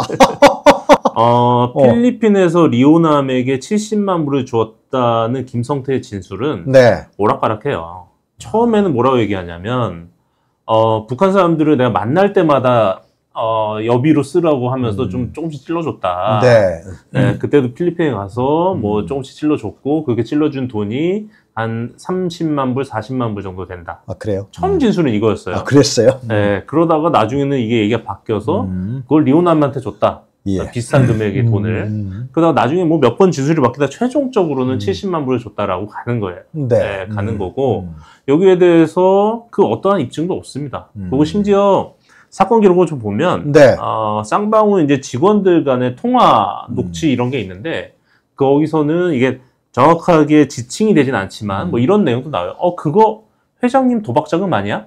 뭐 이러한 워딩들도 있어요. 어, 그래서 도대체 음. 필리핀에서 김성태가 사용한 그 돈이 음. 어떤 돈인지 음. 여기에 대해서는 매우 뭐 입증된 것도 없고 네. 의심의 여지도 많은데 근데 이게 그냥 필, 그, 김성태가 나, 내가 난 리오남 줬어요. 음. 라고 얘기하니까 그게 그냥 사실이 돼버리는 거예요. 그러니까 코미디죠. 코미디인데 아. 여기에 대해서 지금까지 저희는 예. 여러 가지 간접 증거로만 입증을 했잖아요. 음. 아 뭐 명단에 없다, 음. 비자를 받을 수가 없다 음. 등등 이런 음. 간접 증거로만 입증을 했는데 여기에 대한 직접 증거가 처음으로 나온 거죠. 아. 그 매우 충격적인 사건이었습니다. 예. 법원에서도 그 인정했었잖아요. 70만 불 줬다고, 그죠? 아, 인정했죠. 그 사람이 신 무슨 판사입니까? 신진우. 신진우 판사. 예. 아, 그 사람이 다 인정한 거죠. 인정했죠. 예.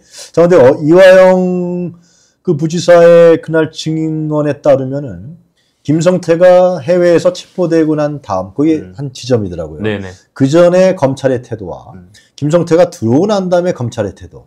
그러니까 이화영 전 부지사에게 있을 수 없는 그 회의와 협박, 뭐 연어회, 또그 관선 변호인을 통한 또뭐 음. 설득 이런 부분들, 네네. 박 박상용 검사의 어떤 딜 네. 이런 부분들이 그 김성태가 체포된 다음부터 완전히 달라졌다. 그때부터 네네. 시작된 것이다. 이런 얘기를 하던데요.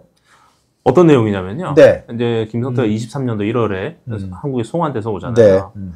어, 1월에 송환돼서 오고 나서 음. 검찰이 뭐 1, 2, 3, 4월 이 정도 동안 사건을 만들어간 것 같아요. 네. 만들어간 것 같고 그 당시에 이제 경기도에 있는 문건도 다 압수해 오고 음. 분석을 하고 음. 하면서 만들어 온 것 같고요. 네. 네. 만들어 오는 과정 속에서 이제 어, 소위 말하는 진술 세미나. 음. 네. 아, 그 당시 진술 세미나. 이제 그 당시 이제 진술 세미나는 이제 어, 이화영을 제외하고 이제 사건을 만들어 온 과정이기 때문에 아. 이화영이 투입되지 않죠. 이화영이 음.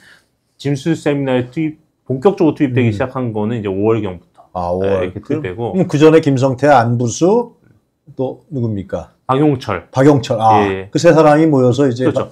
박상용 검사실에서 모여갖고 계속 진술 세미나를 한 거예요. 그렇죠.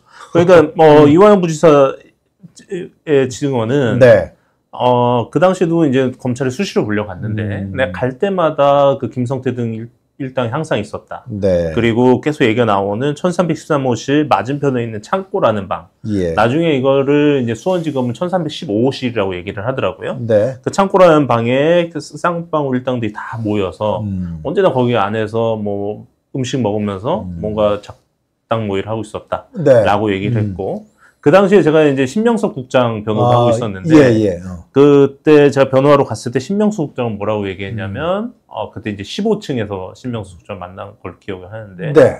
어저 밑에 층 가면 음. 박상용 검사실이 있는데 거기는 쌍방울 애들 놀이터야. 거기 가면 애들 다 거기 모여서 놀고 있어. 뭐 이런 음. 얘기도 했어요. 어. 그 당시에 아마 그렇게 진술 세미나 했던 것 같고 어, 최근에 음. 뉴스타파에서 공개된 그 안부수 씨의 딸, 음, 네. 딸의 카톡 내용을 봐도 오피스텔 어, 얻어주고 예, 예, 그 당시에 음. 갔는데 어, 쌍방울 사람들 다 모여 있었다라고 음. 얘기를 하잖아요. 그래서 이건 뭐 부인할 수 있는 내용이 아닐 것 같고 음. 어, 제가 갖고 있는 자료 중에는 김성태, 방영철, 안부수 네. 이들에 대한 접견 기록, 아니 그 출정 기록 있습니다. 수원지검 네. 출정 네, 기록. 네, 네. 출정 기록만 봐도 입증은 돼요. 어. 근데 요, 이걸 통해 입증이 안 되는 부분은 음. 어, 박상웅, 박상민 뭐 이러한 몇몇 쌍방울 직원들이 있습니다. 네. 이분들도 거기에 같이 있었다는 건데 어... 이분들은 구속 상태가 아니니까 음... 출정 기록은 없고 네. 어, 수원지검의 출입자 명단을 보면 알 수 있을 거야. 네. 근데 뭐 수원지검이 이거는 음... 공개하지 않고 음... 있죠. 음... 일단 이런 식으로 해서 김성태가 들어오고 나서 두세 달 동안 음. 사건을 made한 걸로 보이고 아 그래서 거기서 예, 이제 다시 조작하고 예, made가 다 끝나니까 음. 그 다음부터는 이화영을 불러다가 온갖 회유 압박을 통해서 진술을 강요를 했고 네. 진술 강요 속에서 이제 6월 달부터 네. 아, 이화영의 진술이 만들어져 가기 시작하는 거죠. 만들어져 가는 과정이군요. 네네. 예. 거기 어쩔 수 없이 이화영 전 비사가 너무나 어렵고 힘드니까 일부를 인정하는 겁니까? 어떻게 그게 됩니까? 이제 두 가지가 있는데요. 네. 어. 사실 어, 영향을 맺힌 게 이제 음. 첫 번째는 음. 김성태의 아무 말 대잔치예요. 아무 말 대잔치. 예, 김성태가 그냥 아무 말만 다 해버린다. 예를 들면 어. 그 김성태가 이제 이화영한테 어. 이제 뭐 형님이라고 부르나 봐요. 어. 형님 내가 얼마 줬잖아요. 형님 내가 그때 형님한테 얼마 줬잖아요. 이거 이건 거예요. 어 밑뚝부터 돈 줬다고 어. 하고 옆에서 이제 방용철도 음. 그때 저도 같이 있었는데요. 야. 뭐 이런 식의 아무 말 음. 대잔치가 있고 또 하나는 음. 이재명 대표에 대한 직접적인 아무 말 대잔치 공격이 있습니다. 그래요? 예 예를 들면 정말 호모맹랑한 건데 음. 어 부, 그 도지사 음. 시절에 음. 이제 선거법으로 재판을 받잖아요. 네. 그 당시는 그 김성태와 그 이유도 마찬가지지만 김성태와 이재명의 그 어떤 관계도 없던 시점이에요. 어. 떤 관계도 없던 시점인데 그냥 밑도 끝도 없이 음. 아 내가 이재명 무죄 받게 주려고 재판부에 로비를 했어. 김성태가요? 예, 이런 거예요. 뭐 대법원 뭐 대법관한테 몇, 몇 억을 줬어. 뭐 1심 재판부에 뭐 뭐뭐 어떻게 했어. 음. 이런 식으로 아무 말 대잔치 해버립니다. 이화영 지사한테, 부지사한테. 음, 이렇게 하면서 근데 이화영 부지사 입장에서는 어떤 상황이 발생을 하냐면 예. 어디까지가 진실이고 어디까지가 거짓인지를 팩트 체크를 할 수 없는 거죠. 이게 김성태가 하는 얘기가 음. 전부 다 거짓 같은데 음. 제가 너무 당당하게 얘기하니까 음. 예를 들어서 말씀드리면 어 내가 이재명 선거법 위반 그 무죄 받으려고 대법관한테 뭐 몇 억 줬어 로비에서 그래서 무죄 받은 거야 음. 이렇게 얘기하면 이화영 부지사 입장에서 이걸 사실 확인할 수가 없잖아요. 고립돼 있고 감옥 네. 아래 있고 분명 거짓말 같은데 네, 거짓말 어, 같은데 사실 어. 확인할 수는 음. 없고 음. 또 하나는 검찰은 김성태가 얘기하면 그냥 그거를 사실로 만들어 버려요. 온갖 수사를 하고 어, 어뭐 허위를 뭐 반박할 수 없는 어떠한 물증을 만들어내고 음. 이런 식으로 검찰은 김성태 얘기를 사실로 만들어 버리니까 음. 이화영 입장에서 무슨 생각이 드냐면 음. 어 김성태가 지금 이재명을 위해서 대법원에 로비를 했다고 하는데 음. 저거를 검찰이 들어와서 수사해서 사실로 만들어 보이면 와 민주당은 작살날 수 있다. 아. 이러한 이러한 아. 유의 공포심이 하나가 있고 음. 두 번째는 음. 주변 털기예요. 음. 어 이화영의 정말 30년 40년 직이라고 음. 하는 대학 동기인 대학 동기고 평생 같이 통일운동도 했고 시민단체 운동도 했던 신명섭 국장. 예. 예. 이 양반 계속 협박을 했습니다. 이 양반 가지고. 음. 이 양반이랑 이제 이우일이라는 또 후배가 있는데 네. 이 둘을 가지고 야 네가 제일 아끼는 동지랑 후배가 신명섭 이우일이지. 음. 얘네도 구속될 거야. 야. 어, 봐봐, 구속될 거야. 음. 그러다가 어, 5월 중순에 신명섭이 실제로 구속이 됩니다. 그래요. 예, 그러면서부터 음. 이화영 부지사가 멘탈이 완전 흔들려 버리죠. 그렇겠네요, 당연히. 예, 그리고 뭐 음. 와이프도 털고 딸도 털고 아들도 털고 다 털어요.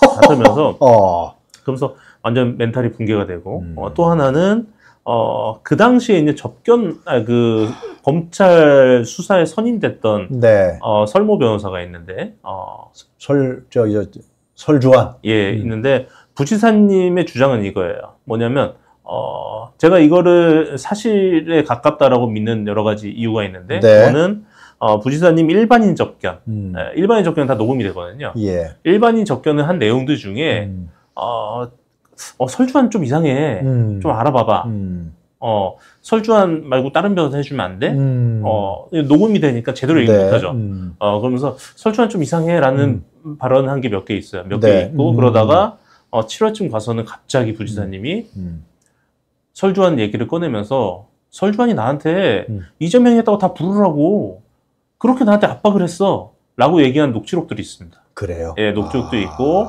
그 당시에 이제 부지사님이 음. 설주한 변호사에 대해서 음. 이야기하는 음. 원래 설 변호사라고 하려고 했는데 이제 진행자님께서 음. 이름을 꺼내버리시는 바람에 예, 뭐 알려진 사실이잖아요. 예, 언론에 예, 나왔었어요. 음, 부지사님이 얘기한 음. 내용들 중에 아주 청문회에서도 나왔고 예, 적나라한 부분들이 있습니다. 예를 들면 이런 부분이에요.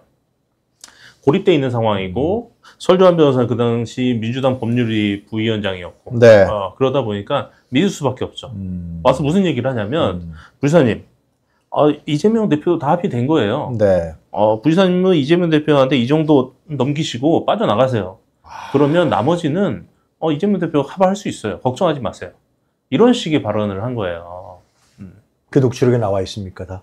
요, 요건 녹취록이 없죠. 음. 요건 녹취록이 없고. 이화영 씨가 예, 얘기한 거. 이거는 검찰에서, 음. 검찰에서 설주환 음. 변호사가 이화영한테 음. 얘기했다고 이화영 부지사 주장하는 내용이니까. 아. 요건 녹취록이 없고. 음. 여기에 관련해서 비슷한 맥락으로 음. 설주환이 나한테 계속 그렇게 이화영에 대해서 불어라 음. 얘기해라 압박을 했어라는 거는 일반인 접견 녹취록이 있습니다. 아, 그래요? 네, 그래서 아. 그렇기 때문에 제가 이제 여러 가지 정황을 봤을 때이 음. 내용은 상당히 좀 신비성이 있다라고 음. 생각하는 부분이고요.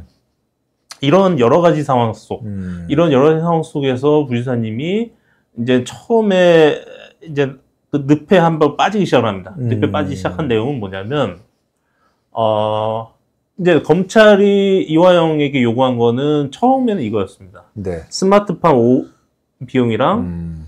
저 그 방북 비용 음. 어 요거에 대해서 인정을 해라. 네. 그리고 요 이러한 정황을 이재명도 알고 있었다라고 음. 자백해라. 음. 이거예요. 음. 그러니까 그 그런 정황을 그냥 부지사님도 정황 아니 그 지사님도 정황적으로 알고 있었습니다. 이 정도 발언하라는 거예요. 네. 정황적으로 알고 있었다라는 음. 것에는 돈을 줬다라는 게 포함이 돼 있잖아요. 네.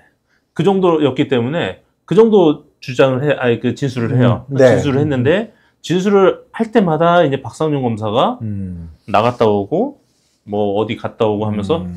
아 부지사님 내가 윗선이랑 얘기했는데 이거 좀 음. 약하대. 좀만 더 합시다. 좀만 더, 좀만 더 하다가 이렇게 10차례에 걸쳐서 음. 어, 6월 한 달 동안 10차례에 걸쳐서 진술이 조금씩 조금씩 늘어나다가 음. 6월 말경에는 음. 결국은 이재명 지사에게 보고했다까지 가는 겁니다. 야.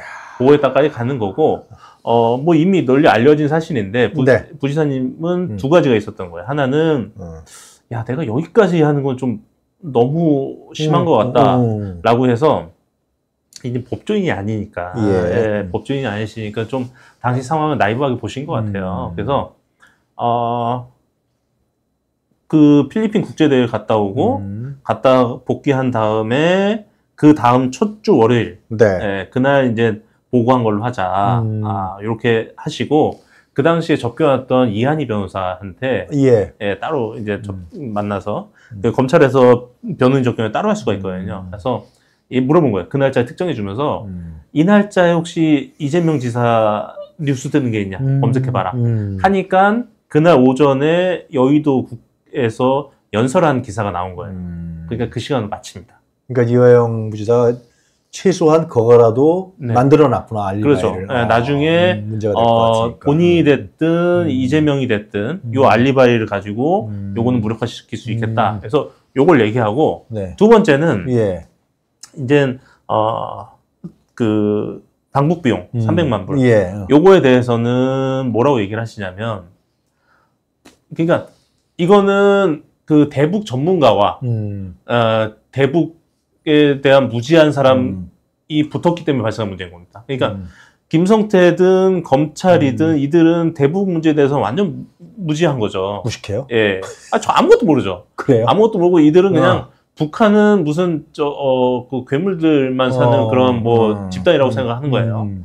아, 북한의 정권의 정당성을 인정하는 건 아니지만 음.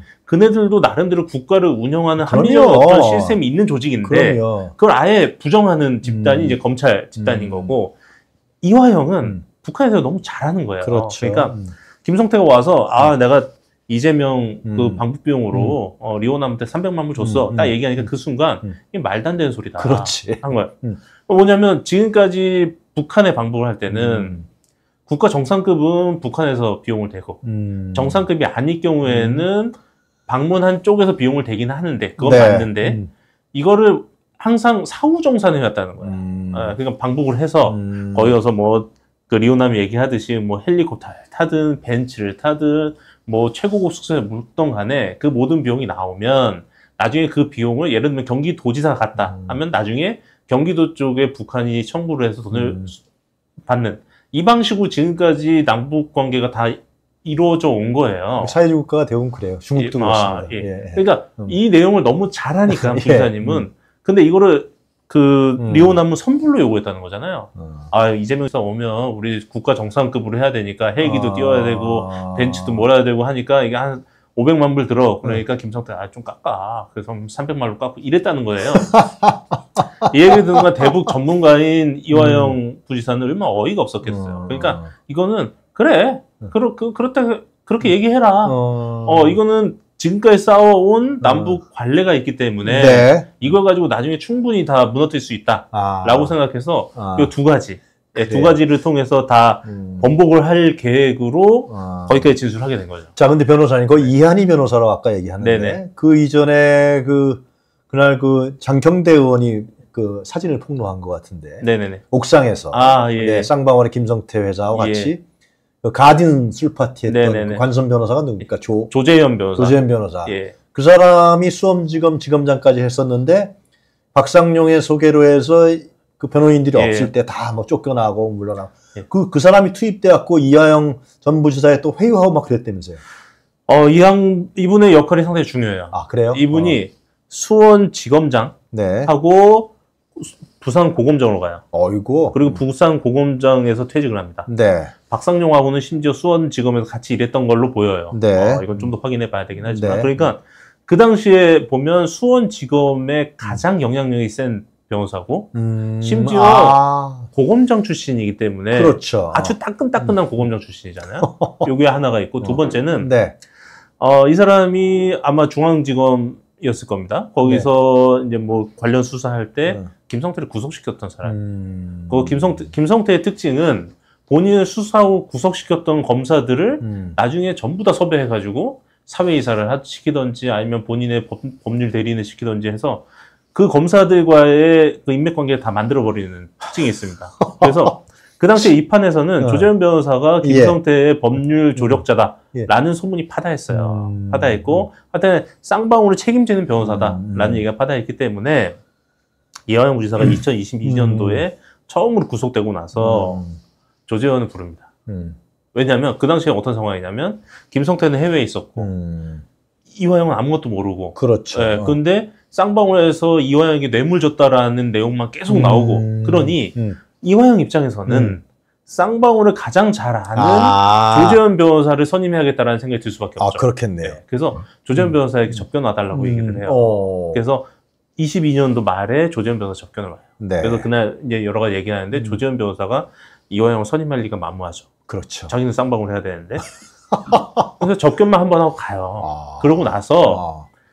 23년도 5월, 6월 이렇게 되면서 예. 에, 이화영을 회유 압박해야 되는 상황 속에서 조정이 재등판합니다. 아... 재등판하는데 이때는 그 수원지검 또는 대검의 메신저로 오는 거죠. 그러니까 대검. 아 대검 아, 얘기까지 나오는 거예요? 아니 대검 얘기가 아니라 대한민국 검찰의 메신저. 음, 음. 무슨 얘기냐면 음. 박상용이 온갖 회유 압박을 하잖아요. 예. 회유 압박하되 이제 회, 그 회유라는 것이 당근이 있어야 회유가 되는 거잖아요. 그렇지. 그게 이거예요. 야 우리가 지금 너 음. 수사하고 있는 게 음. 한두 개가 아니야. 어. 어. 한두 개 아니고 이재명 수사하는 것도 한두 개가 아니야. 어. 근데 네가 요 정도만 얘기해 주면 음. 네 건이든 이재명의 건이든 다 엎어줄게. 아. 다 엎어주고 너는 바로 보석으로 나가게 해줄게. 어. 했는데 어. 박상용 검사가 수석 검사예요. 수석? 예. 네. 수석 검사가 하는 얘기를 음. 여의도 여의도밤만 20년을 음. 먹은 이화영이라는 사람이 잘 안 믿겠지. 믿을 리가 없잖아요. 음. 믿을 리가 없으니까 이화영이 안 믿은 거야. 음. 안 믿으니까 음. 박상용이 음. 이런 얘기를 합니다. 음. 변호사 한 명이 갈 거예요. 아. 그 양반이랑 얘기를 해보면 믿을 수밖에 없을 겁니다. 라고 해서 누가 올까 했는데 조재현이 나타나. 조재현이 수원구치소로 두 번 접견을 가고 네. 네. 수원지검 박상용 검사실에서 세네 차례 정도 이화영을 별도로 만나기까지. 네, 어. 근데 저는 이걸 보고 아, 진짜 얘네 대단하다라고 생각이 든건 음. 수원지검에서 음. 매우 비밀리에 만난 거는 그럴 수 있다고 쳐도 수원 구치소에 접견을 간 거는 접견 기록이 남잖아요. 그렇죠. 음. 기록을 남기면서까지 대범하게 갔다라는 게 음. 어.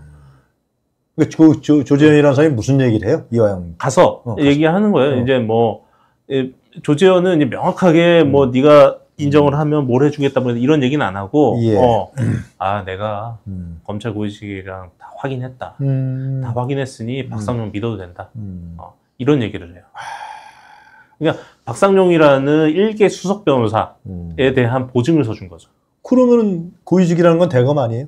그래서 제가 이제 뭐 대검 얘기를 한 겁니다. 아. 대검 얘기를 한 거고, 예. 어, 박상용이 이제 이화영을 수사를 할 때, 음. 아까 얘기했잖아요.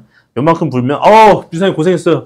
됐어요, 됐어요. 라고 음. 얘기하고 어디 갔다 와서는 안 돼요 얘기하는데 수원지 단순하게 수원지검장 같지가 않은데 어디 갔다 왔을 때가 이제 부지사님 얘기는 음. 아 부장판사 만나고 온 것 같더라 이런 얘기가 있고 아 신민호 예.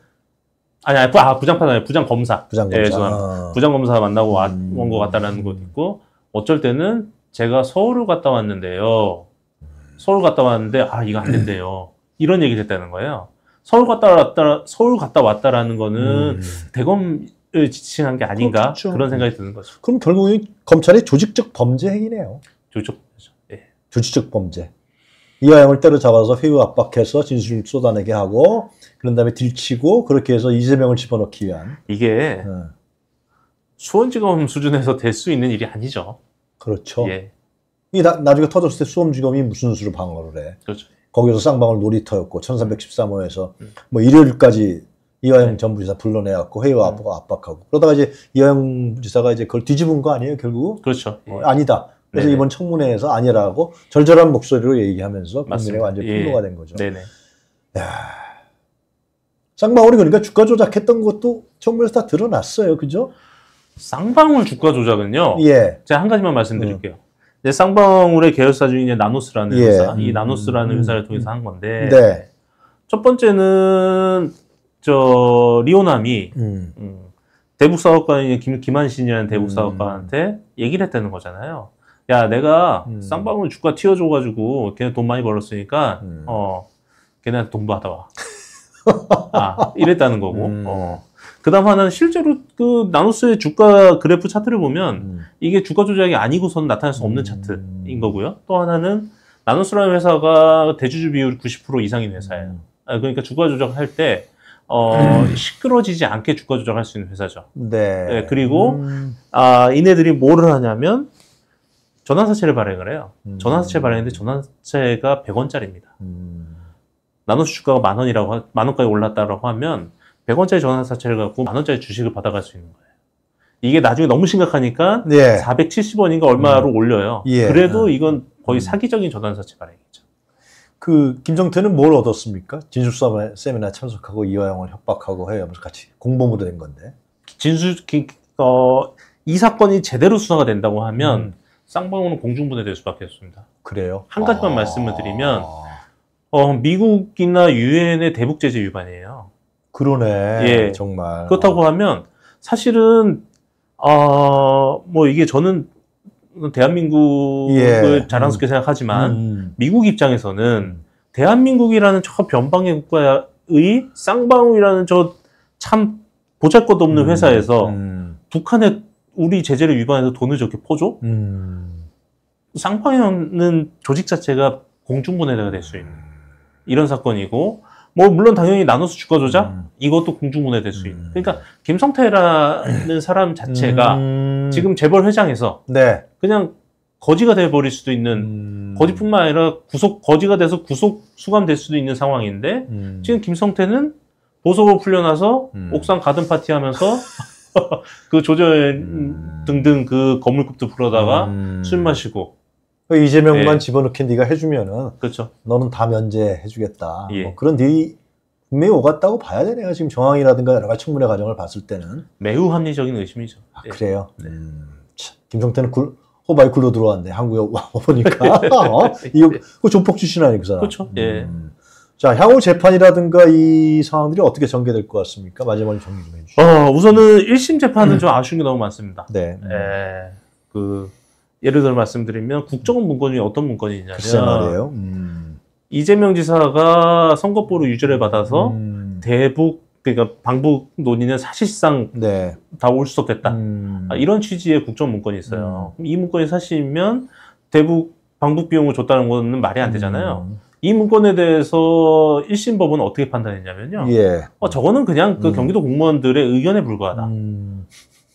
아니 국정원건을 아, 이렇게 판단했는데 아, 그 신진호 판사죠. 예 맞습니다. 예, 그 정도로 어 저희 쪽에 유리한 모든 증거는 배척을 하고 네. 예, 김성태, 방용철, 안부수 음. 세 명의 진술만 다 인정을 해서 9년 6개월의 유죄가 네. 나왔어요. 음. 항소심에서는 달라질 것 같습니까? 달라져야죠. 음. 달라져야 하는 어제 청문회의 영향도 상당히 있죠. 민주당 의원들이 계속 재판부 얘기를 물어보더라고. 그죠? 예, 근데 어, 변호인 입장에서 이제 재판부를 뭐 직접적으로 평가하는 그렇죠. 거는 좀 음. 부담이 되고, 근데 항소심에서는 그렇죠. 특히나 뭐 어, 이화, 아니, 리오남 이슈도 좀 불거졌고, 음. 어저께 이제 통일운동가, 네. 어, 그분도 그분, 이제 뭐 증거로 제출해야 네. 되고요. 어. 여러, 여러 가지 상황을 봤을 때, 음. 항소심에서는 좀 상황이 달라지지 않을까 좀 음. 기대를 합니다. 알겠습니다. 시간이 좀 지나갔고 마지막으로 꼭 하셔야 될 얘기 있으면 간단하게 하고 정리하겠습니다. 대한민국 검찰은 음. 존재해서는 안 되는 집단입니다. 음. 음, 이거는 고쳤을 수 있는 집단이 아니에요. 음. 그리고 대한민국 검찰이 저렇게 무도하게 나갈 수 있었던 거는 대한민국 역사를 통틀어서 검찰이 혼나본 적이 없기 때문에 그렇다고 음. 생각합니다. 네. 나는 무슨 짓을 해도 혼나지 않아. 아. 나는 무슨 짓을 혼나지 음. 않고 심지어 대통령도 만들어. 이런 집단이기 때문에 그랬다는 보고요. 그래서 네. 어, 여기에 대한 교훈을 줘야 돼요. 음. 검찰도 잘못하면 혼난다라는 음. 거 주고, 음. 그걸 넘어서서 이러한 집단은 대한민국에 필요 없다. 음. 대한민국에 없어도 된다라는 거를 이번 기회를 통해서 명확하게 보여준다, 음. 보여줘야 된다고 생각합니다. 알겠습니다. 거기 또 그 대열에 우리 김광민 변호사님이 활동하고 계시고. 이제 발을 뺄 수가 없죠. 알겠습니다. 예. 오늘 바쁘실 텐데 이렇게 나오셔서 대단히 감사합니다. 앞으로도 고생하시고요. 네, 좋은 결과 있기를 바라겠습니다. 감사합니다. 네, 감사합니다. 네, 네 김광민 변호사님 보내드리고요. 우리 김갑수 평론가님을 스튜디오에 모시도록 하겠습니다.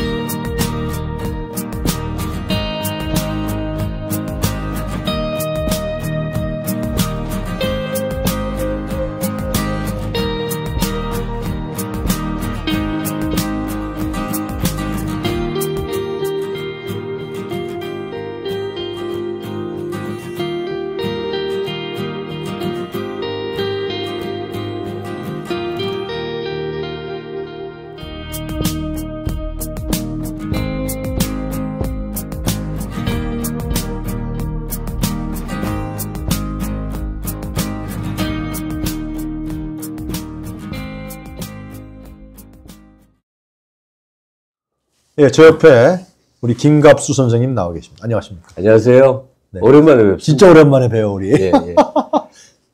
그 요즘 다 그런 것 같아요. 예. 뭐, 거대한 개미 군단처럼 됐어요, 우리가. 아, 그래요? 아. 과거에는 이제 광화문 모여서 시위를 하는 거였다면 지금은 온라인 공간에서 네. 그 개인 매체도 있고 음. 뭐 여러 채널들이 네. 너도 나도 나와서 우리가 조금만 조금만 사실의 조각들을 음. 모아가면서 음. 예. 그리고 또 굉장히 많은 것들이 지금 이제 누수가 돼서 나오지 않습니까? 네. 음. 아주 역사를 만들어가는 그냥 아주 아주 현장의 현장이 지금 아. 이구나 이런 생각. 아 그러시군요. 예. 네. 그 어젠가요? 그 그 좀 전에 이기현 의원하고 인터뷰를 했는데. 김건희를 위한 황제 공연을 KTV에서 8,600만 원을 들여서 아, 녹화시키고 네. 그거를 뭐 제대로 하여튼 자기네 홈페이지만 올려놨답니다. 네. 아, 그리고 유튜브에 올렸는데 조회수가 500회 나왔고 그게 뭐 엑스포 기원 성공 뭐 부산 엑스포 공연이라는 예. 거죠. 작년 10월 31일 날 예, 예, 예. 근데 이제 그 공연 자체 8천만 원 들인 공연이 음. 대통령 부인 하나 보라고 이제 하다 이제 이거고 그 유명한 국악인들이 무형문화재가 다 나오셨다는 거 아니에요? 예. 그 저도 이제 기억이 좀 있는데 음. KTV 진행을 토론광장하고 또 하여튼 몇 가지를 좀 어. 오래 했으니까 그 네. 사정을 좀 아는데 네, 네, 네. 거긴 말하자면 공무원 아니에요. 그럼요. 예, 조직이 뭐 몇번 예, 바뀌어도 하여튼 정부 산하 음. 기관인데 그러니까 공무원들이 어떻게 움직이는지를 알 수가 있어요. 아. 그러니까 음. 그 노무현 정부 때 음. KTV는 이제 김창호 씨가 원장을 아, 예. 아, 원장이라보다 그 상위 음, 상위자였죠 참 음, 국정홍보처장이었으니까 근데 이제 이명박 정부를 바뀌잖아요. 음, 네. 그러면 KTV 그입그 저기 지금은 내려갔지만 저기 선릉에 있는 데 있었는데 아, 입구에 음. 노무현 정부 이제 지표를 의미하는 이제 슬로건들을 음. 이렇게 내걸고 있단 말이에요. 네. 야 대선 끝난 바로 다음 날 다음 날 예, 이명박 대통령이 주로 선거 기간에 외쳤던 주장 중에 뭐 그거를 다 하루 만에 갈아요. 그래요? 그리고 바로 전날까지 KTV를 통해서 내놓던 논조가 있지 않습니까? 예. 토론의 내용도 예. 있고 프로그램도 있고 어. 정말 정확히 바뀝니다. 어. 그런데 동일한 PD예요. 동일한 사람이 대단하구나. 정반대 얘기를 한단 말입니다. 음. 그러니까 사람이 생존을 위해서는 정말 못할 게 없구나 음. 그런 뭐 그런 모습을 많이 봤죠. 네. 그러니까 어, 조심스럽게 얘기해야 됩니다만 우리가 극빈의 시절에는 음. 정말 먹고 살자고 음. 정말 주인 어른한테 음. 상사한테 음. 온갖 추한 짓을 해도 약간 면피가 되는 게 있는 게 너무 살기가 힘드니까. 근데 지금은 살기 힘들어도 밥은 안 굶거든요. 음. 그리고 다른 기회를 갖기 위해서 자기 충전의 시간을 가져도 또 재기할 수 있는 기회도 맞아요. 있고. 네. 근데, 근데 그렇게 살아요. 예? 근데 그렇게 산다고. 자기 생각과 정반대 얘기를 해도. 음. 제가 그 종편 중에 가장 보수적이라는 데서 어, 출연을 많이 했는데 네. 그 관계자들이 전부 심상정 열혈 지지자들이었어요. 네. 지금은 심상정이 좀 이상하게 됐지만 과거에는 진보의 어. 노회찬과 더불어 진보의 상징 같은 얼굴이잖아요. 그렇죠. 예. 그러면 그들과는 일을 할 때 사석도 있고 어, 어, 일도 음. 있는데 사석에서 보면 열혈 진보들이었어요. 음. 그러니까 살기 위해서는 무슨 짓이든 하는 거구나 싶은데 이번 사건 보시면 어떠세요? 뭐 전형적인 거죠. 어. 그 KTV 원장이 이제 누가 됐는지는 모르지만 하정대라고 에? 전에 동아일보 논설위원하다가 그 당시에 KTV 원장. 아, 그 사람이 갔구나. 어쨌든 그 대통령 부부한테 잘 보이기 위해서 온갖 그거 하나 신경 쓰는 거 아니에요? 그거 하나 신경 쓰는 거. 야, 저도 이제 방송 활동을 그 전에는 많이 했었는데 네. 여러 종류의 PD가 있었는데 그 중에 예. 굉장히 잘 나가는 그런데 지금 와도 야 곤란하구나 하는 PD가 한 사람 기억나는데 아. 그 사람이 저한테 열심히 주입해 준 얘기가 있어요. 뭡니까? 방송은 시청자고 나발이고 전혀 중요한 게 아니야. 어. 그런 건 그런 건 아무 필요가 없어. 어. 진행자는 어. 단 한 사람 PD를 만족시키기 위해서만 하는 거야. 그럼 KT PD예요? 아니, 다른 방송에 아. 아주 큰 방송사예요. 아, 그래요. 어. 아니, 그 어떻게 얘기하다 보니까, 음. 어, 지나간 얘기 잠깐 하게 됐네. 네. 그러니까, 이번에 김건희 씨 보여주기 위한 그 8천만짜리 국악 공연을 보면서도, 네. 능히 저럴만해. 아. 네. 그런데, 그 세상에 다니는 이제, 뭐 우리가 보면 국가가 있고, 음. 사회가 있고, 음. 민족이 있고, 뭐 이렇게 나눈다 그러면 우리가 네. 사회 성장이 아직 안 돼서 그런 거거든요. 예. 그러니까 언론, 그러면 KTV도 언론 아니에요. 방송사고. 그렇죠. 그러면 기본적으로 언론에 조, 종사하는 사람들이 지켜야 될 자부심, 명예감, 그렇죠. 대원칙, 음. 넘지 않아야 될 선, 뭐 이런 것들에 대한 생각을 갖고 있는 각 음. 부문들이 그런 어, 것들을 지키는 사회가 소위 발전한 사회인데 네. 어. 그런 점에서 참 슬프네요. 김건희 얘기 좀 잠깐 하고 그다음에 네. 이제 우리 저 선생님 얘기 더 들어 깊이 네, 들어보도록 네, 네. 하겠습니다. 자, 하여튼 김건희 명품백 사건을 검찰이 며칠 전 2일 날 무혐의 처리했습니다. 근데 이제 난, 난, 내, 나 청탁한 거야. 뇌물 준 거야 했던 최재형 목사도 같이 무혐의 처리했어요. 최재형 목사를 기소하게 되면은 김건희도 할 수밖에 없으니까 뭐 그런 것 같고.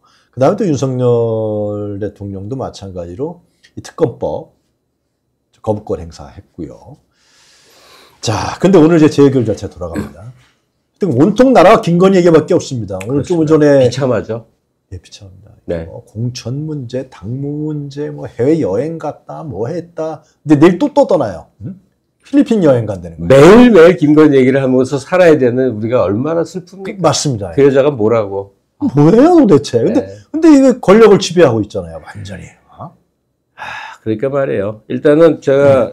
잠깐 김광민 변호사 얘기하시는 시간 동안 네. 밖에서 잠깐 기다리면서 봤는데 네. 그분 얘기가 사실 우리 모두의 심정을 대변하고 있어요. 예. 검찰은 고쳐 쓸수 있는 조직이 더 이상 아니다. 음. 이건 뭐 해체 대상이고 음. 해체까지가 아니고 여기에 가담한 자들, 가령 어, 명품백 음. 어, 무혐의예요 해서 음. 법리를 들이민 자들을 처벌해야 된다. 네. 여기까지 우리가 단호한 결심을 해야 되고 네. 그 명품백이 혐의다 무혐의다를 나는 우리 대중은 신경 쓸 필요 없다고 생각해요. 아, 예. 이게 검찰 정권이 되니까 음. 뭐든지 법리를 보려고 그래요. 아, 그렇죠. 음. 근데 우리가 변호인이냐고. 맞아요. 우리가 검찰도 아니고. 음. 시민 상식의 눈으로 봐야 되는데, 음. 300만 원짜리 백을 고위공직자 부인에게 줬다면 뇌물이지. 왜 이상한 온갖 이름이 붙어요. 음. 이, 이 뇌물, 그러니까 백 을 주고 받은 그 사건에 대해서 법리적 용어가 난무하지 않습니까? 뭐, 뭐, 내가 듣도 보도 못한 뭐, 이해충돌, 뭐, 뭐, 뭐, 뭐, 뭐 많잖아요. 그거 다 필요 없어요. 우리가 볼 때. 네. 잘 보이려고 돈을 매기거나 거기에 해당하는 금품을 매기는 건 그냥 뇌물이에요. 그렇죠. 복잡할 필요가 없어요. 맞아요. 그리고 뇌물은 잘못된 일이고 음. 잘못된 일은 처벌받아야 된다고. 음. 그거를 온갖 교묘한 방법으로 어, 분치를 하고 빠져나가고. 네. 근데 이제 여기에서 우리가 정신 바짝 차려야 될 거는 예. 법리가 중요한 게 아니라 상식이 중요합니다. 그러는데 음. 정반대로 음. 그 말도 안 되는 법리로 음.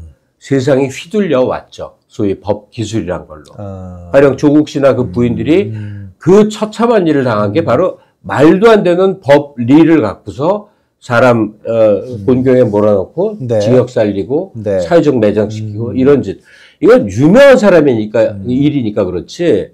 제가 이 검찰 조직에 대해서 분개하는 거는 그들이 존재하는 단 하나의 이유가 뭐냐를 알게 되기 때문에 그래요. 음. 검찰 조직이 존재하는 단 하나의 이유는 뭐냐? 음. 검사들의 자기 이익을 위해서만이에요. 어. 단 하나의 이유가.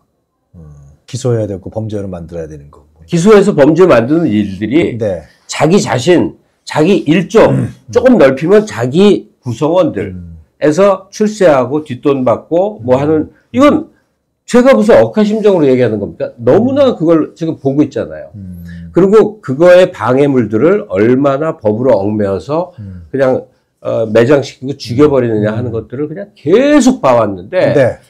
여기서 꿈쩍도 못 해온 세월이 지금까지예요. 음. 네? 문재인 정부 시절부터 계속되온 음. 일이에요. 음. 더 거슬러 가면 군부 통치 시절에 그 무도함이 예. 검찰 권력을 그대로 넘어와서 그대로 계승됐고 예. 이 쿠데타 어, 자행하는 군인들을 보면 틈을 틈을 보잖아요. 예. 권력 공백에 음. 검찰이 똑같았던 거고 음. 윤석열 씨가 바로 거기에 대해서 딱 머리가 돌아간 거죠. 음. 아 정치하는 것들 표 모아서 딱 대통령도 되고 고위직에 올라도 음. 굉장히 허술하구나. 음. 이 틈새를 찌르고 음. 들어가면 내가 먹겠구나를 본 음. 거죠. 아. 그래서 여기까지 온 거 아닙니까? 네네. 지금 말씀하신 게 이제 김건희 명품백 수수에 대해서 음. 그 그러니까 무혐의에 대해서 이제 어떻게 판단하느냐인데 음. 제가 정리하고 싶은 얘기는요. 네. 그들이 얘기하는 장황하고 복잡한 법리에 우리는 휘둘려 들어갈 이유가 없다. 음. 사회적 상식이 가장 중요한데 어, 네. 고위직에게 돈 매겨 물건 매겨서 뭔가 혜택 받으라고 그랬으니 처벌받아야 된다. 음. 지금 못해도 반드시 한다. 예. 정권이 바뀌거나 예. 또는 이걸 모티브로 해서 음. 이들을 처벌해야 된다. 네. 이거죠. 근데 여기서 하나 남는 의문은 네. 그들은 왜 그래, 왜 그럴까요? 그렇죠. 예. 왜 그러는 거예요, 도대체? 왜 그럴까? 어. 어, 일단 뭐 가장 쉽게 진단할 수 있는 건 역시 공적 마인드가 전혀 없다는 건데, 음, 음. 어느 날 대통령이 되고서 공적 마인드가 사라진 게 그럴 리는 없잖아요. 더 생기면 생기지. 어. 공적 마인드라는 게 아예 없이 검사 생활 30년을 해왔고, 음. 그 부인도 부인이 된 이후에 그렇게 살아왔구나. 음. 그러니까 이게 검사들만 그러겠습니까? 그러니까, 어, 뭐 모피아를 포함해서 고위 공직자나 많은 오히려 국회의원들은요 전혀 안 그래요. 계속되는 국민 감시를 받다 보니까 그렇지. 아. 적어도 표면적으로는 음, 음. 그래도 안 그런다고 뒤에서 해쳐먹다 걸리고 잘못하면 네. 근데 시험 잘 봐서 발탁돼 갖고 고위직에 오른 자들이 음. 보니까 전형적으로 조선시대 탐관 놀이의 행태와 완전히 닮아 있어요. 아. 그러니까 조선시대의 그 악패가 있지 않습니까? 음. 그 연장이 이 공화정 시대에 그대로 되고 있었구나. 음. 근데 그냥 웬만한 고위 관리가 아니라 대통령 부부가 됐단 말이에요. 네. 어, 정말 이해할 수 없는 행태가 2년 반 동안 계속 벌어졌는데, 네. 첫째는 원래 성정이 그런 자들이 부부가 돼서 음. 여기까지 온 그런 음. 원래 성정도 사람은 있잖아요. 네네. 또 하나는 사람을 다루는 방법이 저러했으니까 계속 먹혀온 것 같아요. 아... 사적인 인연의 고리를 네. 최대한 활용해서 아. 주고받고 먹고 하는 거죠. 아. 원래 군, 국가 조직이라는 건 공공성, 이해 충돌이 네. 되는 사람들에게 공평하게 대하기 음. 위해서 음. 그 공조직이 그래서 공조직 아닙니까? 음. 근데 그걸 완전하게 이제 사조직, 사적 이익 추구 수단으로 바꿔버리니까 다들 처음에는 이 최고 권력, 새로 등장한 권력에 어리 빠져서 어 하고 지나가다 이제 어. 이제 누수가 시작된 거죠. 뭐 자기 술 친구 40년 지기부터 시작을 해서 그리고 그 친구라고 음. 부르는 그 도처의 사람들이 음. 전부 스폰서였을 거란 말이에요. 그렇지. 뒷돈 되는 사람들이었지. 명태균도 그랬을 테고. 예. 다만 음. 광주에서 음. 동료 수사관이었다가 뭐 그, 음. 그 재밌는 사람 있잖아요. 예, 예, 예, 그 예. 경우는 스폰서를 끌어대우는 역할을 했겠죠. 그렇지. 뭐 뻔하죠. 아. 얼마나 추악한 세월이 흘러왔는데 아. 그때는 솔직히 말해서 또 비난받겠지만 이 전 정부가 분해요. 그 행태를 모를 리가 없거든. 근데 겁나니까 손을 못 댄 거예요. 오히려 키워 올렸지. 제일 멧돼지 같으니까 이자를 통해서 검찰 조직을 그래도 뭐 수사 기소 분리하면 뭐 좀 낫지 않, 음. 이거 아니었던 건데, 음. 물론 뭐 이해는 갑니다. 너무나 건드리기 힘든 음. 국가의 기성 권력의 가장 큰 핵심이었다는 건 알겠는데, 그래도 그냥 연일 통상의 시절에 그냥 좀 불쑥 나온 게 아니라 촛불이라는 거의 혁명적 과정을 통해서 집권을 했다면. 맞습니다. 그리고 또 하나 시기가 좋았던 게 코로나 시기는 정말 그 봉쇄의 시기는요. 음.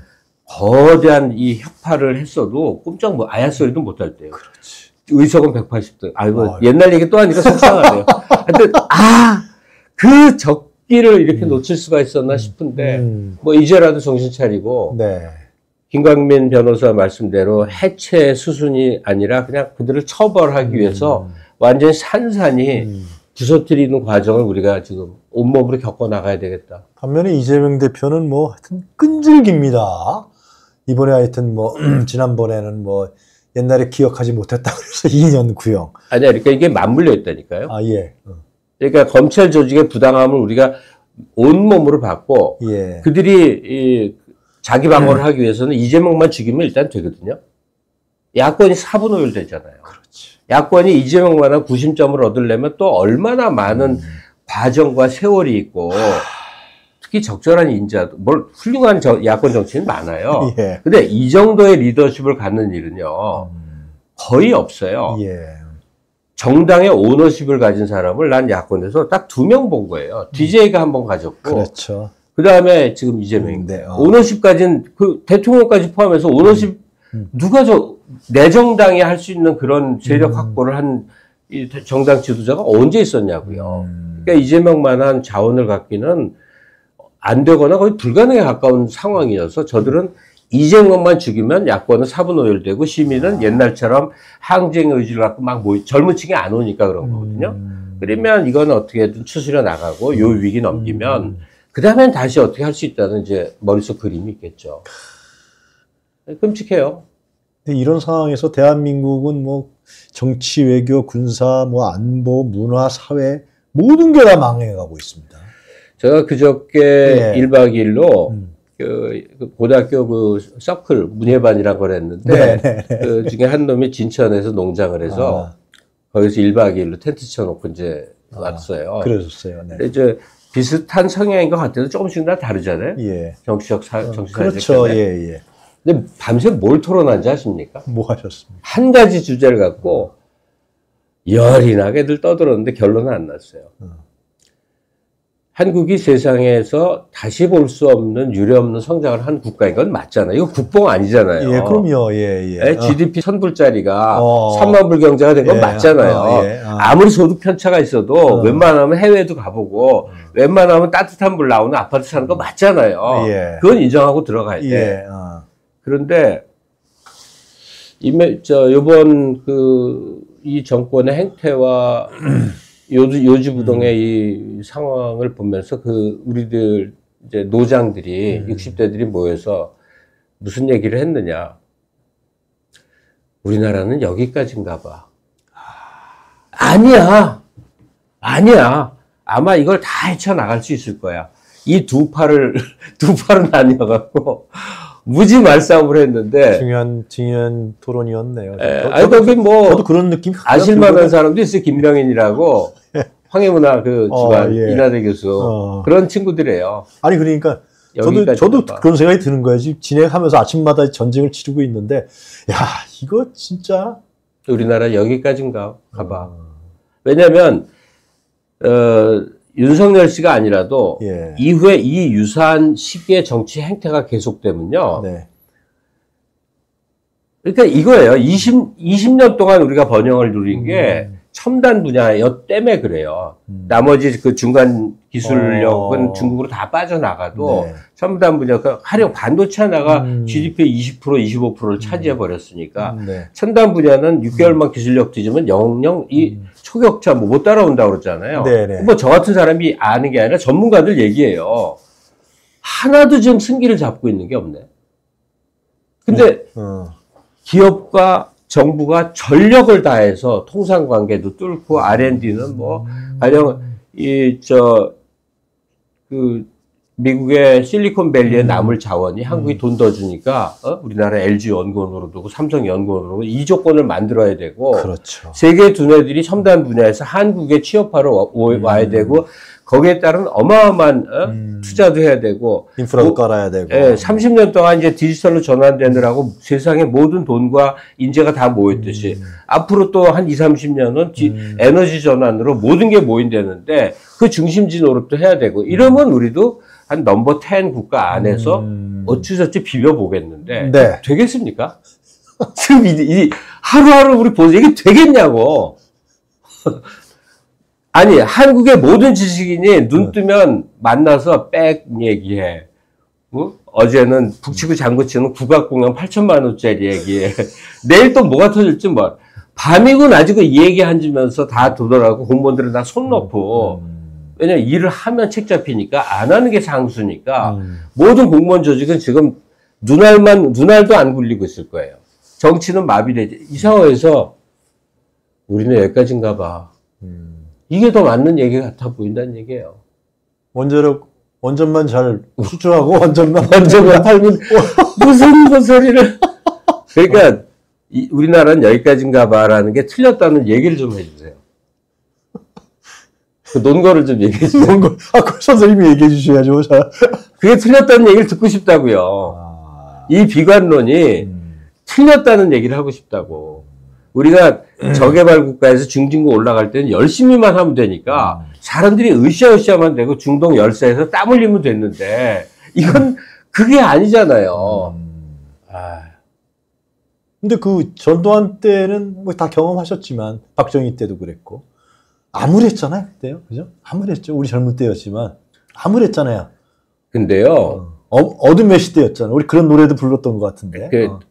저항 운동권에 속하면 매일 두들겨 맞고 가명 쓰고 다니고 쪽지로 딱 주면 이 어, 가, 가명을 모르니까 이놈이 선돌이 그러면 어 선돌이 그러고 딱 해서 꿀꺽 삼켜버리고 이 짓을 하고 살았지만 음. 기업과 음. 정부 조직은 엄청나게 활력 있게 돌아갔다고요. 음. 왜 그런지 아세요? 아 맞아요. 왜 그런지 아시냐고. 아 이제 저 건방지게 표현하네. 예. 내가 생각하는 이유가 있어요. 음. 정당성 없는 정치 권력이 음. 실적을 내서 인정받고 싶었던 거예요. 아, 그게 박정희 때나 전두환 때나 음. 그게 관철이 됐다니까요. 네, 아. 그들이 정당성이 없으니까 저항, 저, 사회 저항을 움직이면 많으니까 이제 때려잡았지만 장기적으로는 지네들도 살아야 되고 세세손손 어, 이 생각을 하잖아요. 그러니까 실적을 내기 위해서 무슨 노력을 해서 그래서 누굽니까 그 저 청와대 이 전두환 시절 경제 경제수석 김재익 아. 김재익 같은 사람도 음. 있고 나중이지만 음. 김종인도 발탁됐고 음. 그 사이에 적어도 총리나 부총리급에 지금도 거론되는 혁혁한 사람들이 어. 사람 같은 사람이 존재했잖아요. 네. 그 이유는 아무리 전두환이가 나쁜 놈이었어도 어. 어. 괜찮은 놈을 앉혀갖고 실적을 내고 싶은 욕망은 있었단 말이에요. 아. 그게 지금 정권하고의 근본적 차이라고. 한덕수 있죠, 한덕수. 한덕수도 옛날에 유능했죠. 한덕수 유능했지. 윤석열이가 대인 배려잖아. 자기 존경한대. 근데 그 경우는 예. 한덕수 씨가 나쁜 인간이 아니라 저는 음. 치매라고 봐요. 치매. 어. 치매 외에는 설명이 안 돼요. 왜냐하면 영민할 때 한덕수를 봤기 때문에 음. 지금 이 얼척없는 소리 하는 거는 그를 가장 잘 봐주는 게 치매라고 보는 거예요. 가치관으로 보면 이게 설명이 그러니까 우리 김갑 선생님 얘기는 박정희나 전두환은 그래도 자기네 정권 연장을 위해서 나쁜 놈이 맞아요. 음, 그러나 어? 독재를 했고 어. 마어마한 탄압을 했고 음. 심지어 사법 살인을 했어 음. 죽였어 인혁당을 죽였고 음. 광주심을 죽였어 나쁜 놈들 맞는데 제가 얘기하는 건 그들을 변호해 주는 게 아니라 그들이 생존하기 위해서 실적을 내고자 치열한 노력을 했다는 얘기예요. 음, 그 점은 그 점은 인정 안 할. 성장제일주의 성과주의 했다. 결과가 나왔으니까요. 어, 그러나 윤석열과 김건희는 뭐야 도대체? 얘네들은? 아, 그러니까 요즘 다들 그 얘기하는 왕족놀이 하는구나. 이것들도 눌려 살아온 세월이거든. 그러니까 우리가 음. 윤석열이 떵떵거리면 무서운 독재자처럼 보이지만 음. 실은 최강욱 같은 사람의 얘기를 들어보세요. 승진을 해서 얼마나 비굴하게 살았는지를. 그렇지. 당당한 삶은 음. 오히려 승진 못한 사람들에게 있었어. 음. 근데 얘는, 아, 얘는 아니고 하여튼 이 예. 대통령이라는 자는 음. 승진하기 위해서 정말 마음에 없는 온갖 소리. 네. 음. 노무현 대통령을 존경하고 나의 인생 철학이고 눈물이 줄줄 나오는데 그걸 내가 직접 들었어. 그러니까 어. 승진을 해서 오죽 비굴한 짓을 해왔나. 그 다음에 김건희 씨도 음. 그 나중에 빠져나오는 여러 가지 뒷얘기를 보면 음. 좋은 걸 잡기 위해서 검사 남편을 잡기 위해서 또 그 회장의 뒷배가 되기 음. 위해서 온갖 것을 해치고 다니고 별 사람을 다 만나고 어. 그다음에 무당 얘기들을 계속 음. 이이뭐 아니 뭐 너무 많이 알려줘서 이제 치열하게 살아왔어. 어, 치열하게 비굴하고 처절하게 살았기 때문에 지금 최고 권력자가 돼서 딱 하는 걸 그냥 약간 trance 상태라고 있죠. 정신이 이렇게. 예, 예, 예. 마약 같은 거 해서 내기는 trance가 있고 ecstasy가 있다고 그래요. 그 상태가. 예. trance야. 제정신이 아니야. 안 보여. 어. 자기들도 약간, 약간 후회하지 않을까? 내가 이렇, 게까지는 아니었는데. 어. 근데 하여튼 미친 2년 반이 지금 흘러가고 뒤돌아보니 이게 되돌릴 수가 없죠. 앞으로 범죄 사실 더 나올 게 없어요. 지금 나온 것만 갖고도 어, 갖고도 예, 탄핵 처벌 음. 이 건이 넘쳐 흐른다고요. 음. 아, 얘기하다 보니까 저 오늘 평온하게 여기 왔다가 이거 좀 또 흥분하네요. 유 선생님 보니까 우리가 방송에서 네, 전에 우리 좋았던 시절에 얘기하던 그, 맞아 그, 그때 예예. 예. 아. 어떻게 해야 됩니까 이걸? 그러니까 지금은 뭐 이 정권을 그 아, 이 얘기하는 분도 있더군요. 뭐라고요? 급변 사태를 만들지 말고 음. 정권을 끝끝내 음. 지켜보다가 어, 민주당 정권을 획득 그러니까 음. 무리를 하지 않고 획, 더 음. 가능성 있게 근데 음. 저 그건 틀렸다고 생각하고 네. 동의할 수가 없어요. 음. 왜냐면 그 사이에 어, 무슨 짓을 저지를지 모르겠어요. 맞아요. 이제 안보 쪽에 맞아요. 무슨 짓을 할지 모르기 때문에 지금 우리가 이제 바짝 고삐를 죄가는 중이잖아요. 네. 그러니까 근데 무슨 수를 이제 끌어내느냐. 그게 그게 가장 답답해하고 있다고 국민들이. 네, 탄핵의 어려움은 뭐 아는데 음. 되게 이제 언제부턴가 우리가 그 시민사회가 약간 강력한 주권 의식이 생겨났거든요. 네. 그러니까 이 정치나 세상사를 내가 하겠다 이게 지금 어, 있거든요. 어, 그럼요. 예, 예. 아무도 아 높은 분들이 좀 알아서 음. 해주세요. 이게 아니야. 그런 사람이 음. 지, 적어도 진보 진영은 없어요. 음. 그러다 보니까 민주당 공천 때 뭐 가서 아. 소리 지르고 내쫓고 그게다 이제 주권 의식이 어. 강력하게 생겨서 그래서 아니야 윤 정부 퇴출 문제도 음. 우리의 할 일이라고 생각하죠. 물론 젊은 층은 아니에요. 네. 한 40대 후반서부터 음. 나이 든 층까지 음. 이 사람들이 우리가 해야 되겠다. 음. 나는 어떤 희생이라도 감수하겠다. 음. 감옥도 갈 수 있고 음. 내한번 던지겠다. 이런 분들은 지금 넘쳐 흘러요. 근데 옛날처럼 그 시위에 생각지도 못한 저희 누나 같이 나올 리가 없는 사람까지 나오는 어... 그, 런 일은 다시 안 발생한단 말이에요. 예. 좀 쉽, 아, 이, 그럴 수도 있는데 쉽지가 않단 말이에요.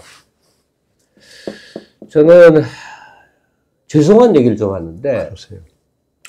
조국 혁신당이 뜻밖의 후보 내서 민주당과 공천 갈등 빚는 네. 선거 경쟁을 벌이는 모습서부터 네. 윤석열 정권의 조기 붕괴까지의 음. 그 많은 일의 배경에 음.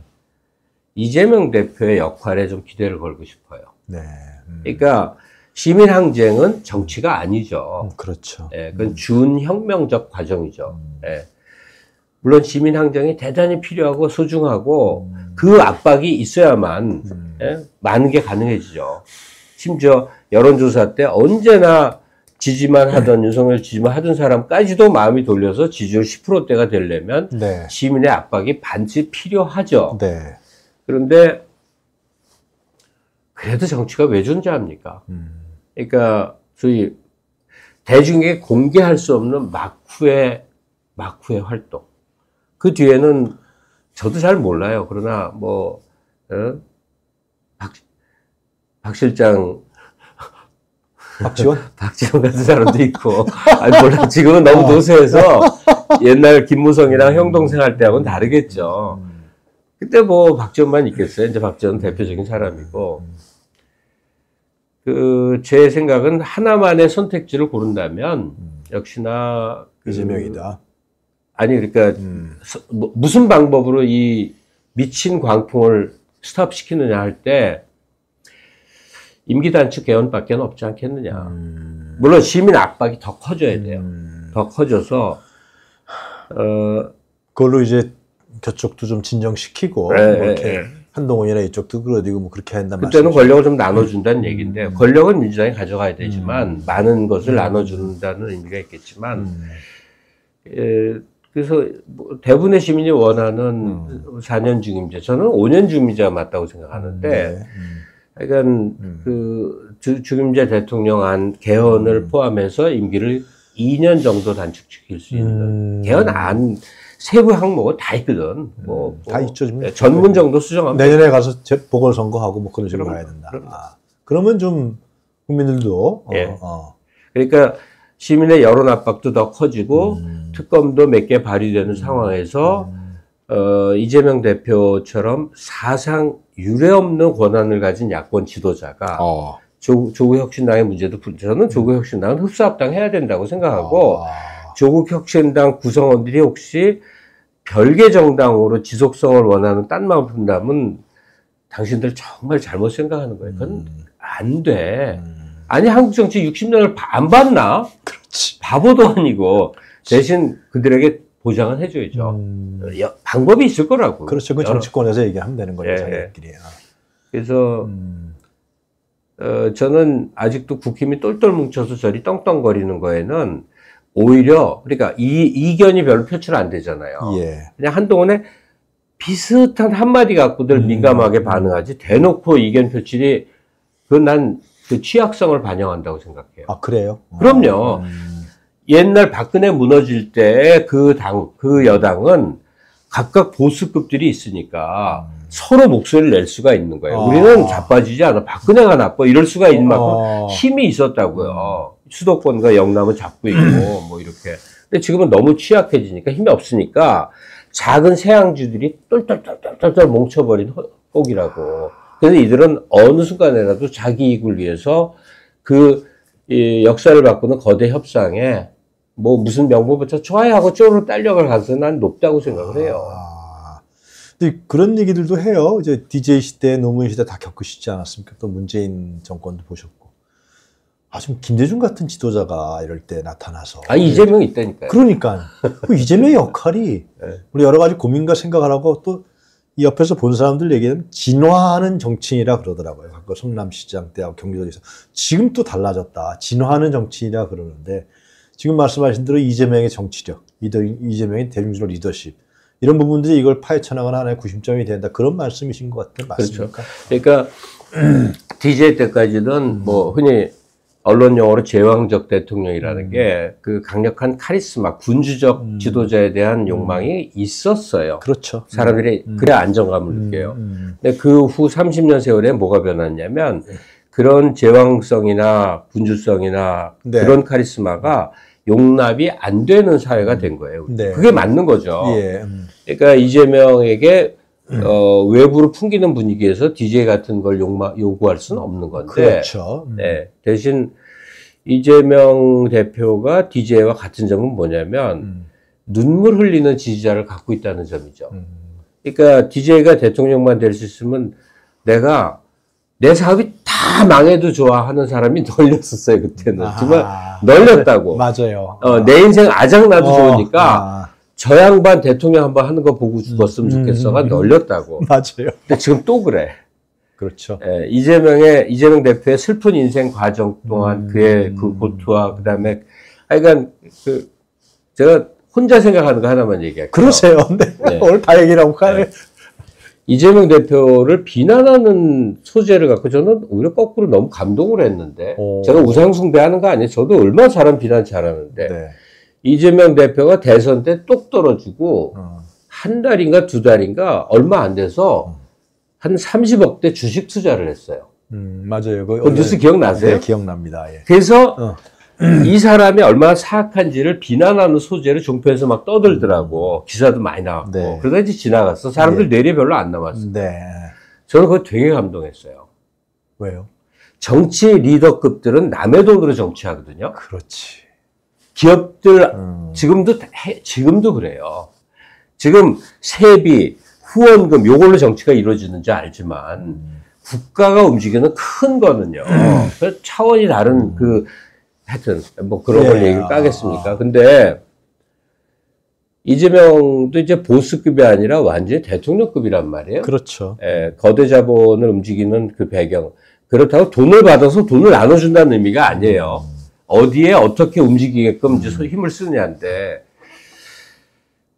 아, 이 사람은 대선 떨어지고 곧장 주식 투자를 해갖고 아. 자기 개인 돈을 만드는 걸 보면 음. 도대체 얼마나 남의 돈을 안 하고 얼마나 음. 돈을 돈에 깨끗해 쓰면 음. 자기 정치를 하기 위해서 음. 자기가 주식 투자를 하냐? 음. 난 남이 뭐라고 하도 상관없어. 저 혼자 그렇게 생각한 거예요. 네, 네, 네. 아, 진짜 눈물 겹더라고. 음. 그러니까 그동안 그렇게 살았겠구나. 아. 그 생각이 바로 떠올랐었어요. 어쨌든 그 이재명 대표도 아주 큰 정치까지 지금 비로소 하고 있는 거지. 맞아요. 시장 했지, 음, 도지사 했지, 도지사는 사실 큰 시정이 아닙니다. 시장들이 다 하는 거지. 이제는 다르죠. 음. 이제는 음. 국가의 운명을 왔다 갔다 하게끔 하는. 근데 지금 뭐 뉴욕타임즈랑 밤낮 인터뷰하고 음. 북한 대 협상 대표들하고 은밀히 뭐 대화도 하고 외국 정상 오면 바로 만나서 회담. 이 급이 아닌 거예요. 음. 그러니까 국제급 글로벌급 리더가 아직 안 돼 있는 거예요. 그래야만 되는데. 맞아요. 예, 예. 그래야 되죠. 그러니까 그게 동시병행돼야. 음. DJ는 뭐 아, 어디가 뭐. 계시던 세계 유수한 언론이 맨날 가서 인터뷰해서 허구한 날 어딘가 맞아요. 지구상의 어딘가에 있는 인터뷰가 나왔잖아요. 네. 아. 그러니까 그런 점에서 이재명은 이제 큰 자꾸 나 이재명 이재명 그러네. 자꾸 그렇게 댓글에 욕하시더라고. 아, 아니죠. 저희 방송 안 우리 계시죠. 때는 대중이 영삼이 그랬잖아요. 그게 그 당시 애칭이었거든. 아. 이러면 안 되는데. 아, 아, 아. 아 니, 뭐, 이니셜, 이재명이 이니셜이 된 거죠. 네, 근데 YSDJ처럼. 아, 유선님 생각나시죠? 다들 대중이, 영삼이, 어른들이 다 그렇게 그, 다 그랬죠. 예, 예. 그걸 친숙감으로 받아들여야 되는데. 예, 예. 그러니까 이재명 대표가, 음. 그리고 김민석 같은 그 결연한 그 하여튼 넘버원을 갖고 있는 건 너무 좋아요. 아니 아, 저는 이제 뉴스에서 어. 민주당 그 이렇게 최고위원 그 최고위원진들 어, 예, 예, 예. 튼튼해. 아 그래요? 네, 네. 이번 다 잘 뽑혔어요. 네. 어. 그 여러 기가 있었잖아요. 음. 그 최고위원 지정들. 네. 이번에 아주 좋아요. 아, 아주 좋다고. 아. 하여튼 그래서 그 그러니까 이게 다 동시적으로 음. 그 이재명 씨가 글로벌 리더급이 되는 등극하는 과정과 윤석열을 끌어내리는 과정은 함께 이루어지는 거예요. 음. 한국의 정정 불안이 이루어져. 음. 어? BBC 방송에서 이 사태를 취재하고 있어. 오. 누굴 만나요? 음. 이재명 만나갖고 인터뷰할 거 아니에요. 그렇죠. 그 중에 어떤 뉴스가 음. 세계적 전파력을 갖는 게 한 번은 터진다고. 음. 각종 해외 외신 뉴스에 쫙 터지는 게. 음. 박근혜 때는 이제 항쟁, 항쟁이 크게 터졌지만, 지금 아마 안보 문제와 관련해서 음. 이제 지금 윤 정권이 무슨 짓은 할 거 아닙니까 좌우가 하겠지. 뭐 뭐는 하겠지. 뭐 저렇게 저 사람들 그냥 물러가지 몰리고 있는데 뭐, 어. 뭐 서해 교전이든 네. 뭐는 할 거란 말이에요. 네. 그 상황 앞에 야권의 대처 그 지금 아마 이제 대표는 뭐 안보 문제 맨날 공부하고 있지 않을까요? 그다음 네. 저녁에도 약속 없는 날은 그냥 그, 스타디 그, 한다고 그 거 해야 될 예, 거예요. 자료 보고 스타디 한다고. 예, 하여튼 윤 정권이 음. 퇴출 위기 음. 마지막까지 지금 어 그러니까 검찰이라는 건 자기네 권력의 기초고 음. 군인데 음. 예? 군을 활용 안 할 리가 없어요. 박근혜 군 활용 실패가 보니까 미국이 막은 것 같지만 네. 음. 군 활용을 안 할 리가 없, 음. 없는데 그, 그와 관련해서 그게 한반도 정정 불안으로 이제 확 확산될 때 네. 세계 언론이 주목할 때 그때 오로지 이재명, 이재명, 이재명, 이재명으로 커야 된다고요. 그건 완전히 단일로 모아야 된다고, 음. 단일로. 이재명이 좋아서가 아니에요. 세상을 바꾸기 위해서는 그렇죠. 그런 에너지의 집약이 필요했고, 음. 역사의 가장 큰 모티베이션을 소위 담지하는, 음. 온몸에, 온몸에 이렇게 안고 있는 그 존재가 필요한데, 그래도 놀랍게 희한한 사람도 리더급에 많았는데 이인재도 있었고 손학규도 있었고 안철수도 있었고 박찬정도 있었는데 박찬정도 있었구나 이재명이라고 음. DJ가 있었고 이재명이라고 그러니까 어, 앞으로 한 6개월 동안 정말 볼만한 일이 벌어질 것 같아요 음. 볼만한 일이 그래서 이 급변의 최정점에 이재명 대표의 정치력이 발휘돼서 음. 우리가 생각하지 못하는 여러 가지의 걸로 임기 단축 개헌을 음. 완성을 하고 음. 총리 정도는 저쪽에 좀 주는 것도 음. 난 그거 괜찮다고 생각하거든요. 그래서 어 그다음에 민주당이 집권을 하되 음. 바가지로 욕먹는 정당이 좀 되달라는 얘기를 너무나 하고 싶어요. 왜냐면 이 극우가 있고 예.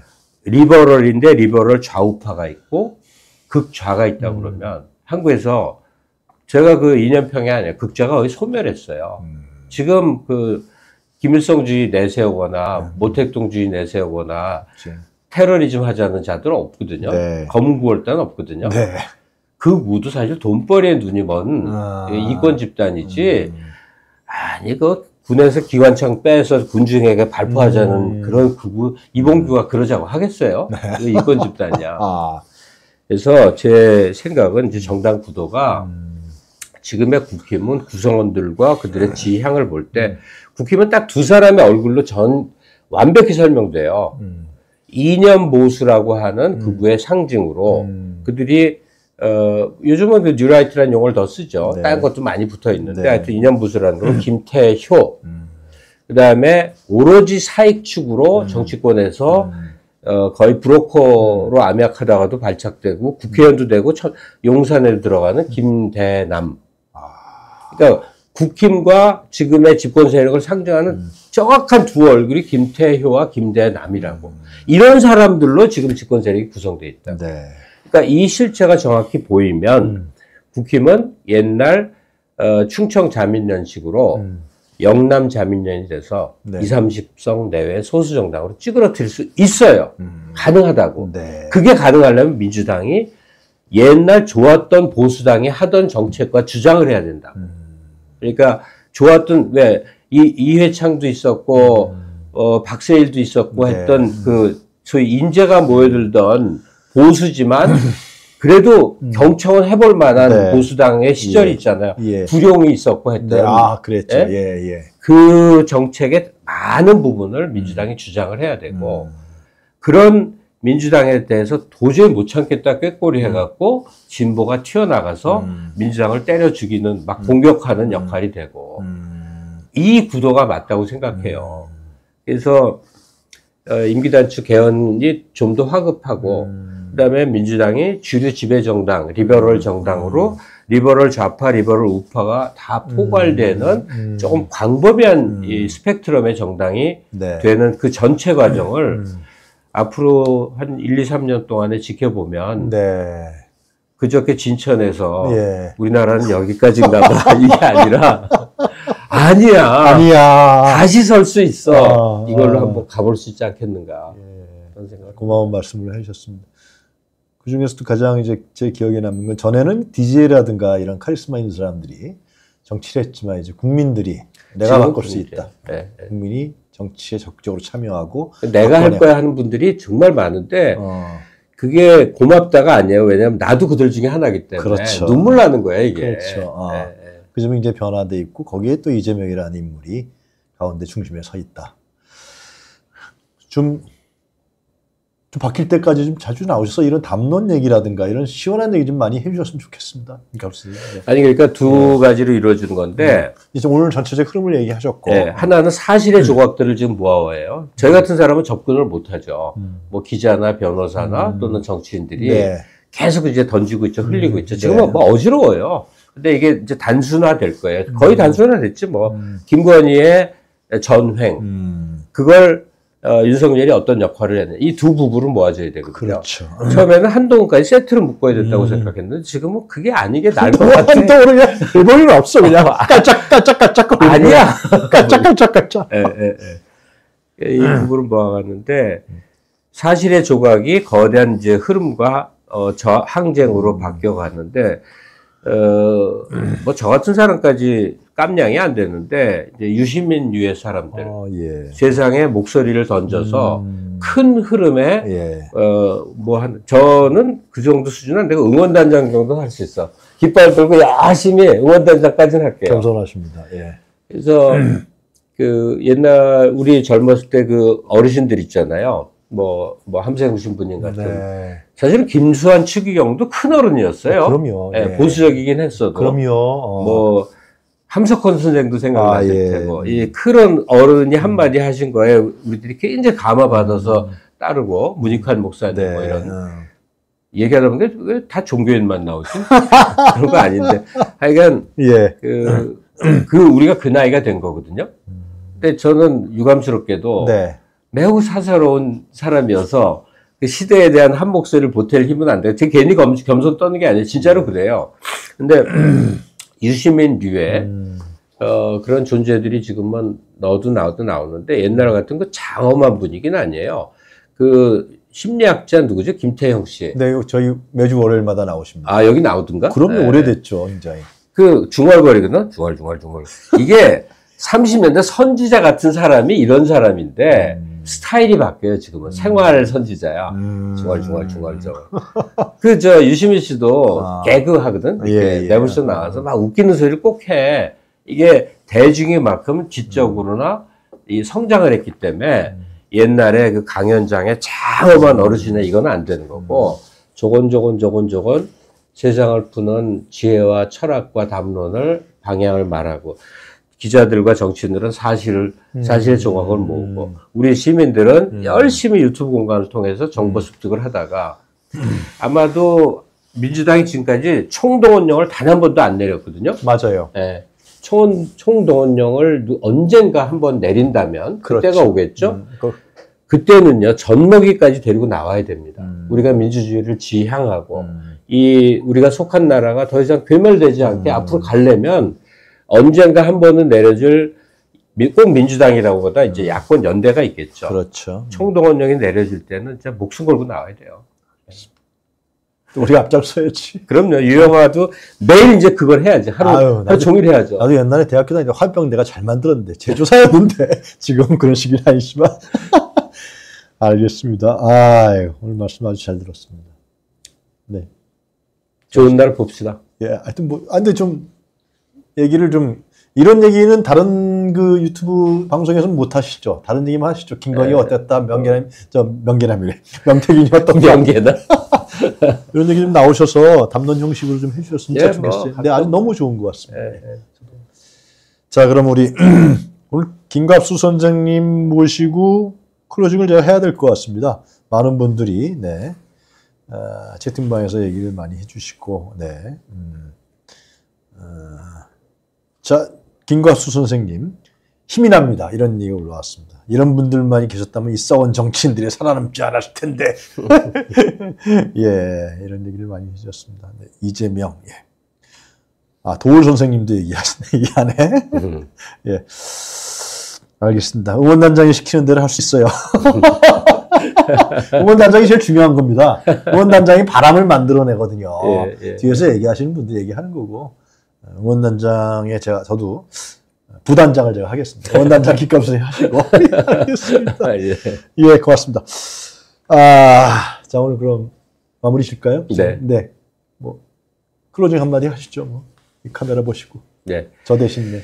그 세대별로 네. 그그한 시대를 바라볼 때 감각 차이가 있는데 음. 저마저 이제 60 중반이나 돼 버리니까 음. 아무리 안 티를 안 내려고 그래도 티가 안 나는데 그 노인 증상이 뭐냐면 기우예요. 염려 쪽이 더 많은 거죠. 음.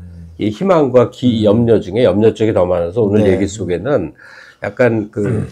어두운 그 마음의 먹구름을 배경으로 얘기를 많이 나눈 것 같은데 저는 그 저는 한국인이라고 하고 한국 놈들이라고 그러거든요. 네. 우리 중 나도 그 중에 하나이기 때문에 그렇게 표현해도 되거든. 한국 놈들은 정말 지독한 놈들이다. 지구상 어디 오지에 가도 한국 놈은 꼭 있더라. 맞죠. 우리 인구 5천만밖에 안 되는데 어, 어. 알래스카 저 음. 추운데 어디도 한국인은 다 있는 거예요. 네. 우리들은 우리들은 보통 놈이 아니고 음. 보통 지독한 놈들이 아니기 때문에 이런 질곡을 헤쳐 나갈 수 있을 겁니다. 음. 그리고 10대, 20대들이 지금 전혀 다른 사람이 돼버린 건 그들이 나쁜 게 아니라 한 인류사 2000년에 2000년 가까이가 종교의 시대였고 음. 저희 세대를 포함해서 한 300년 정도 이념의 시대를 살았고 이제 완전히 과학기술 문명 세대로 가는데 지금의 10대, 20대는 우리 같은 이념 시대에 그런 정신사를 갖고 있는 다른 종족의 인간이에요. 네. 호모 사피엔스 중에 다른 종이라고. 그래서 음. 그들이 어느 순간 역할은 조무하지만 음. 그들의 기대하는 게 아니라 4, 5, 6, 7, 80대들이 음. 정신 차린 사람들이 음. 세상에 피를 흘리고 감옥을 가고 음. 하여튼 자기를 몸을 던져서 하는 그 마지막 소명의 시간 앞에 서 있다 이렇게 말씀을 드립니다. 알겠습니다. 감사합니다. 네. 자, 우리 저 월요일 날은 조금 전에 우리 저 우리 저 김갑수 선생님이 흠모하시는 김태형 소장이 다음 주 월요일 날 출연하십니다. 그렇습니다. 네. 자, 오늘 뉴스 코멘터리 여러분들 오늘 아주 알찬 시간이 된 것 같습니다. 오늘 김강민 변호사 그리고 이기현 의원 그 다음에 우리 김갑수 선생님 김갑수 선생님 시간 되신다 그러면 제가 자주 모시도록 하겠습니다. 시간만 되신다면은 자 오늘 좋은 시간이었습니다. 자 월요일 아침 9시에 뉴스 브리핑 그리고 김태형 소장과 만나보도록 하겠습니다. 여러분 감사합니다. 고맙습니다. 고맙습니다. 감사합니다. 네.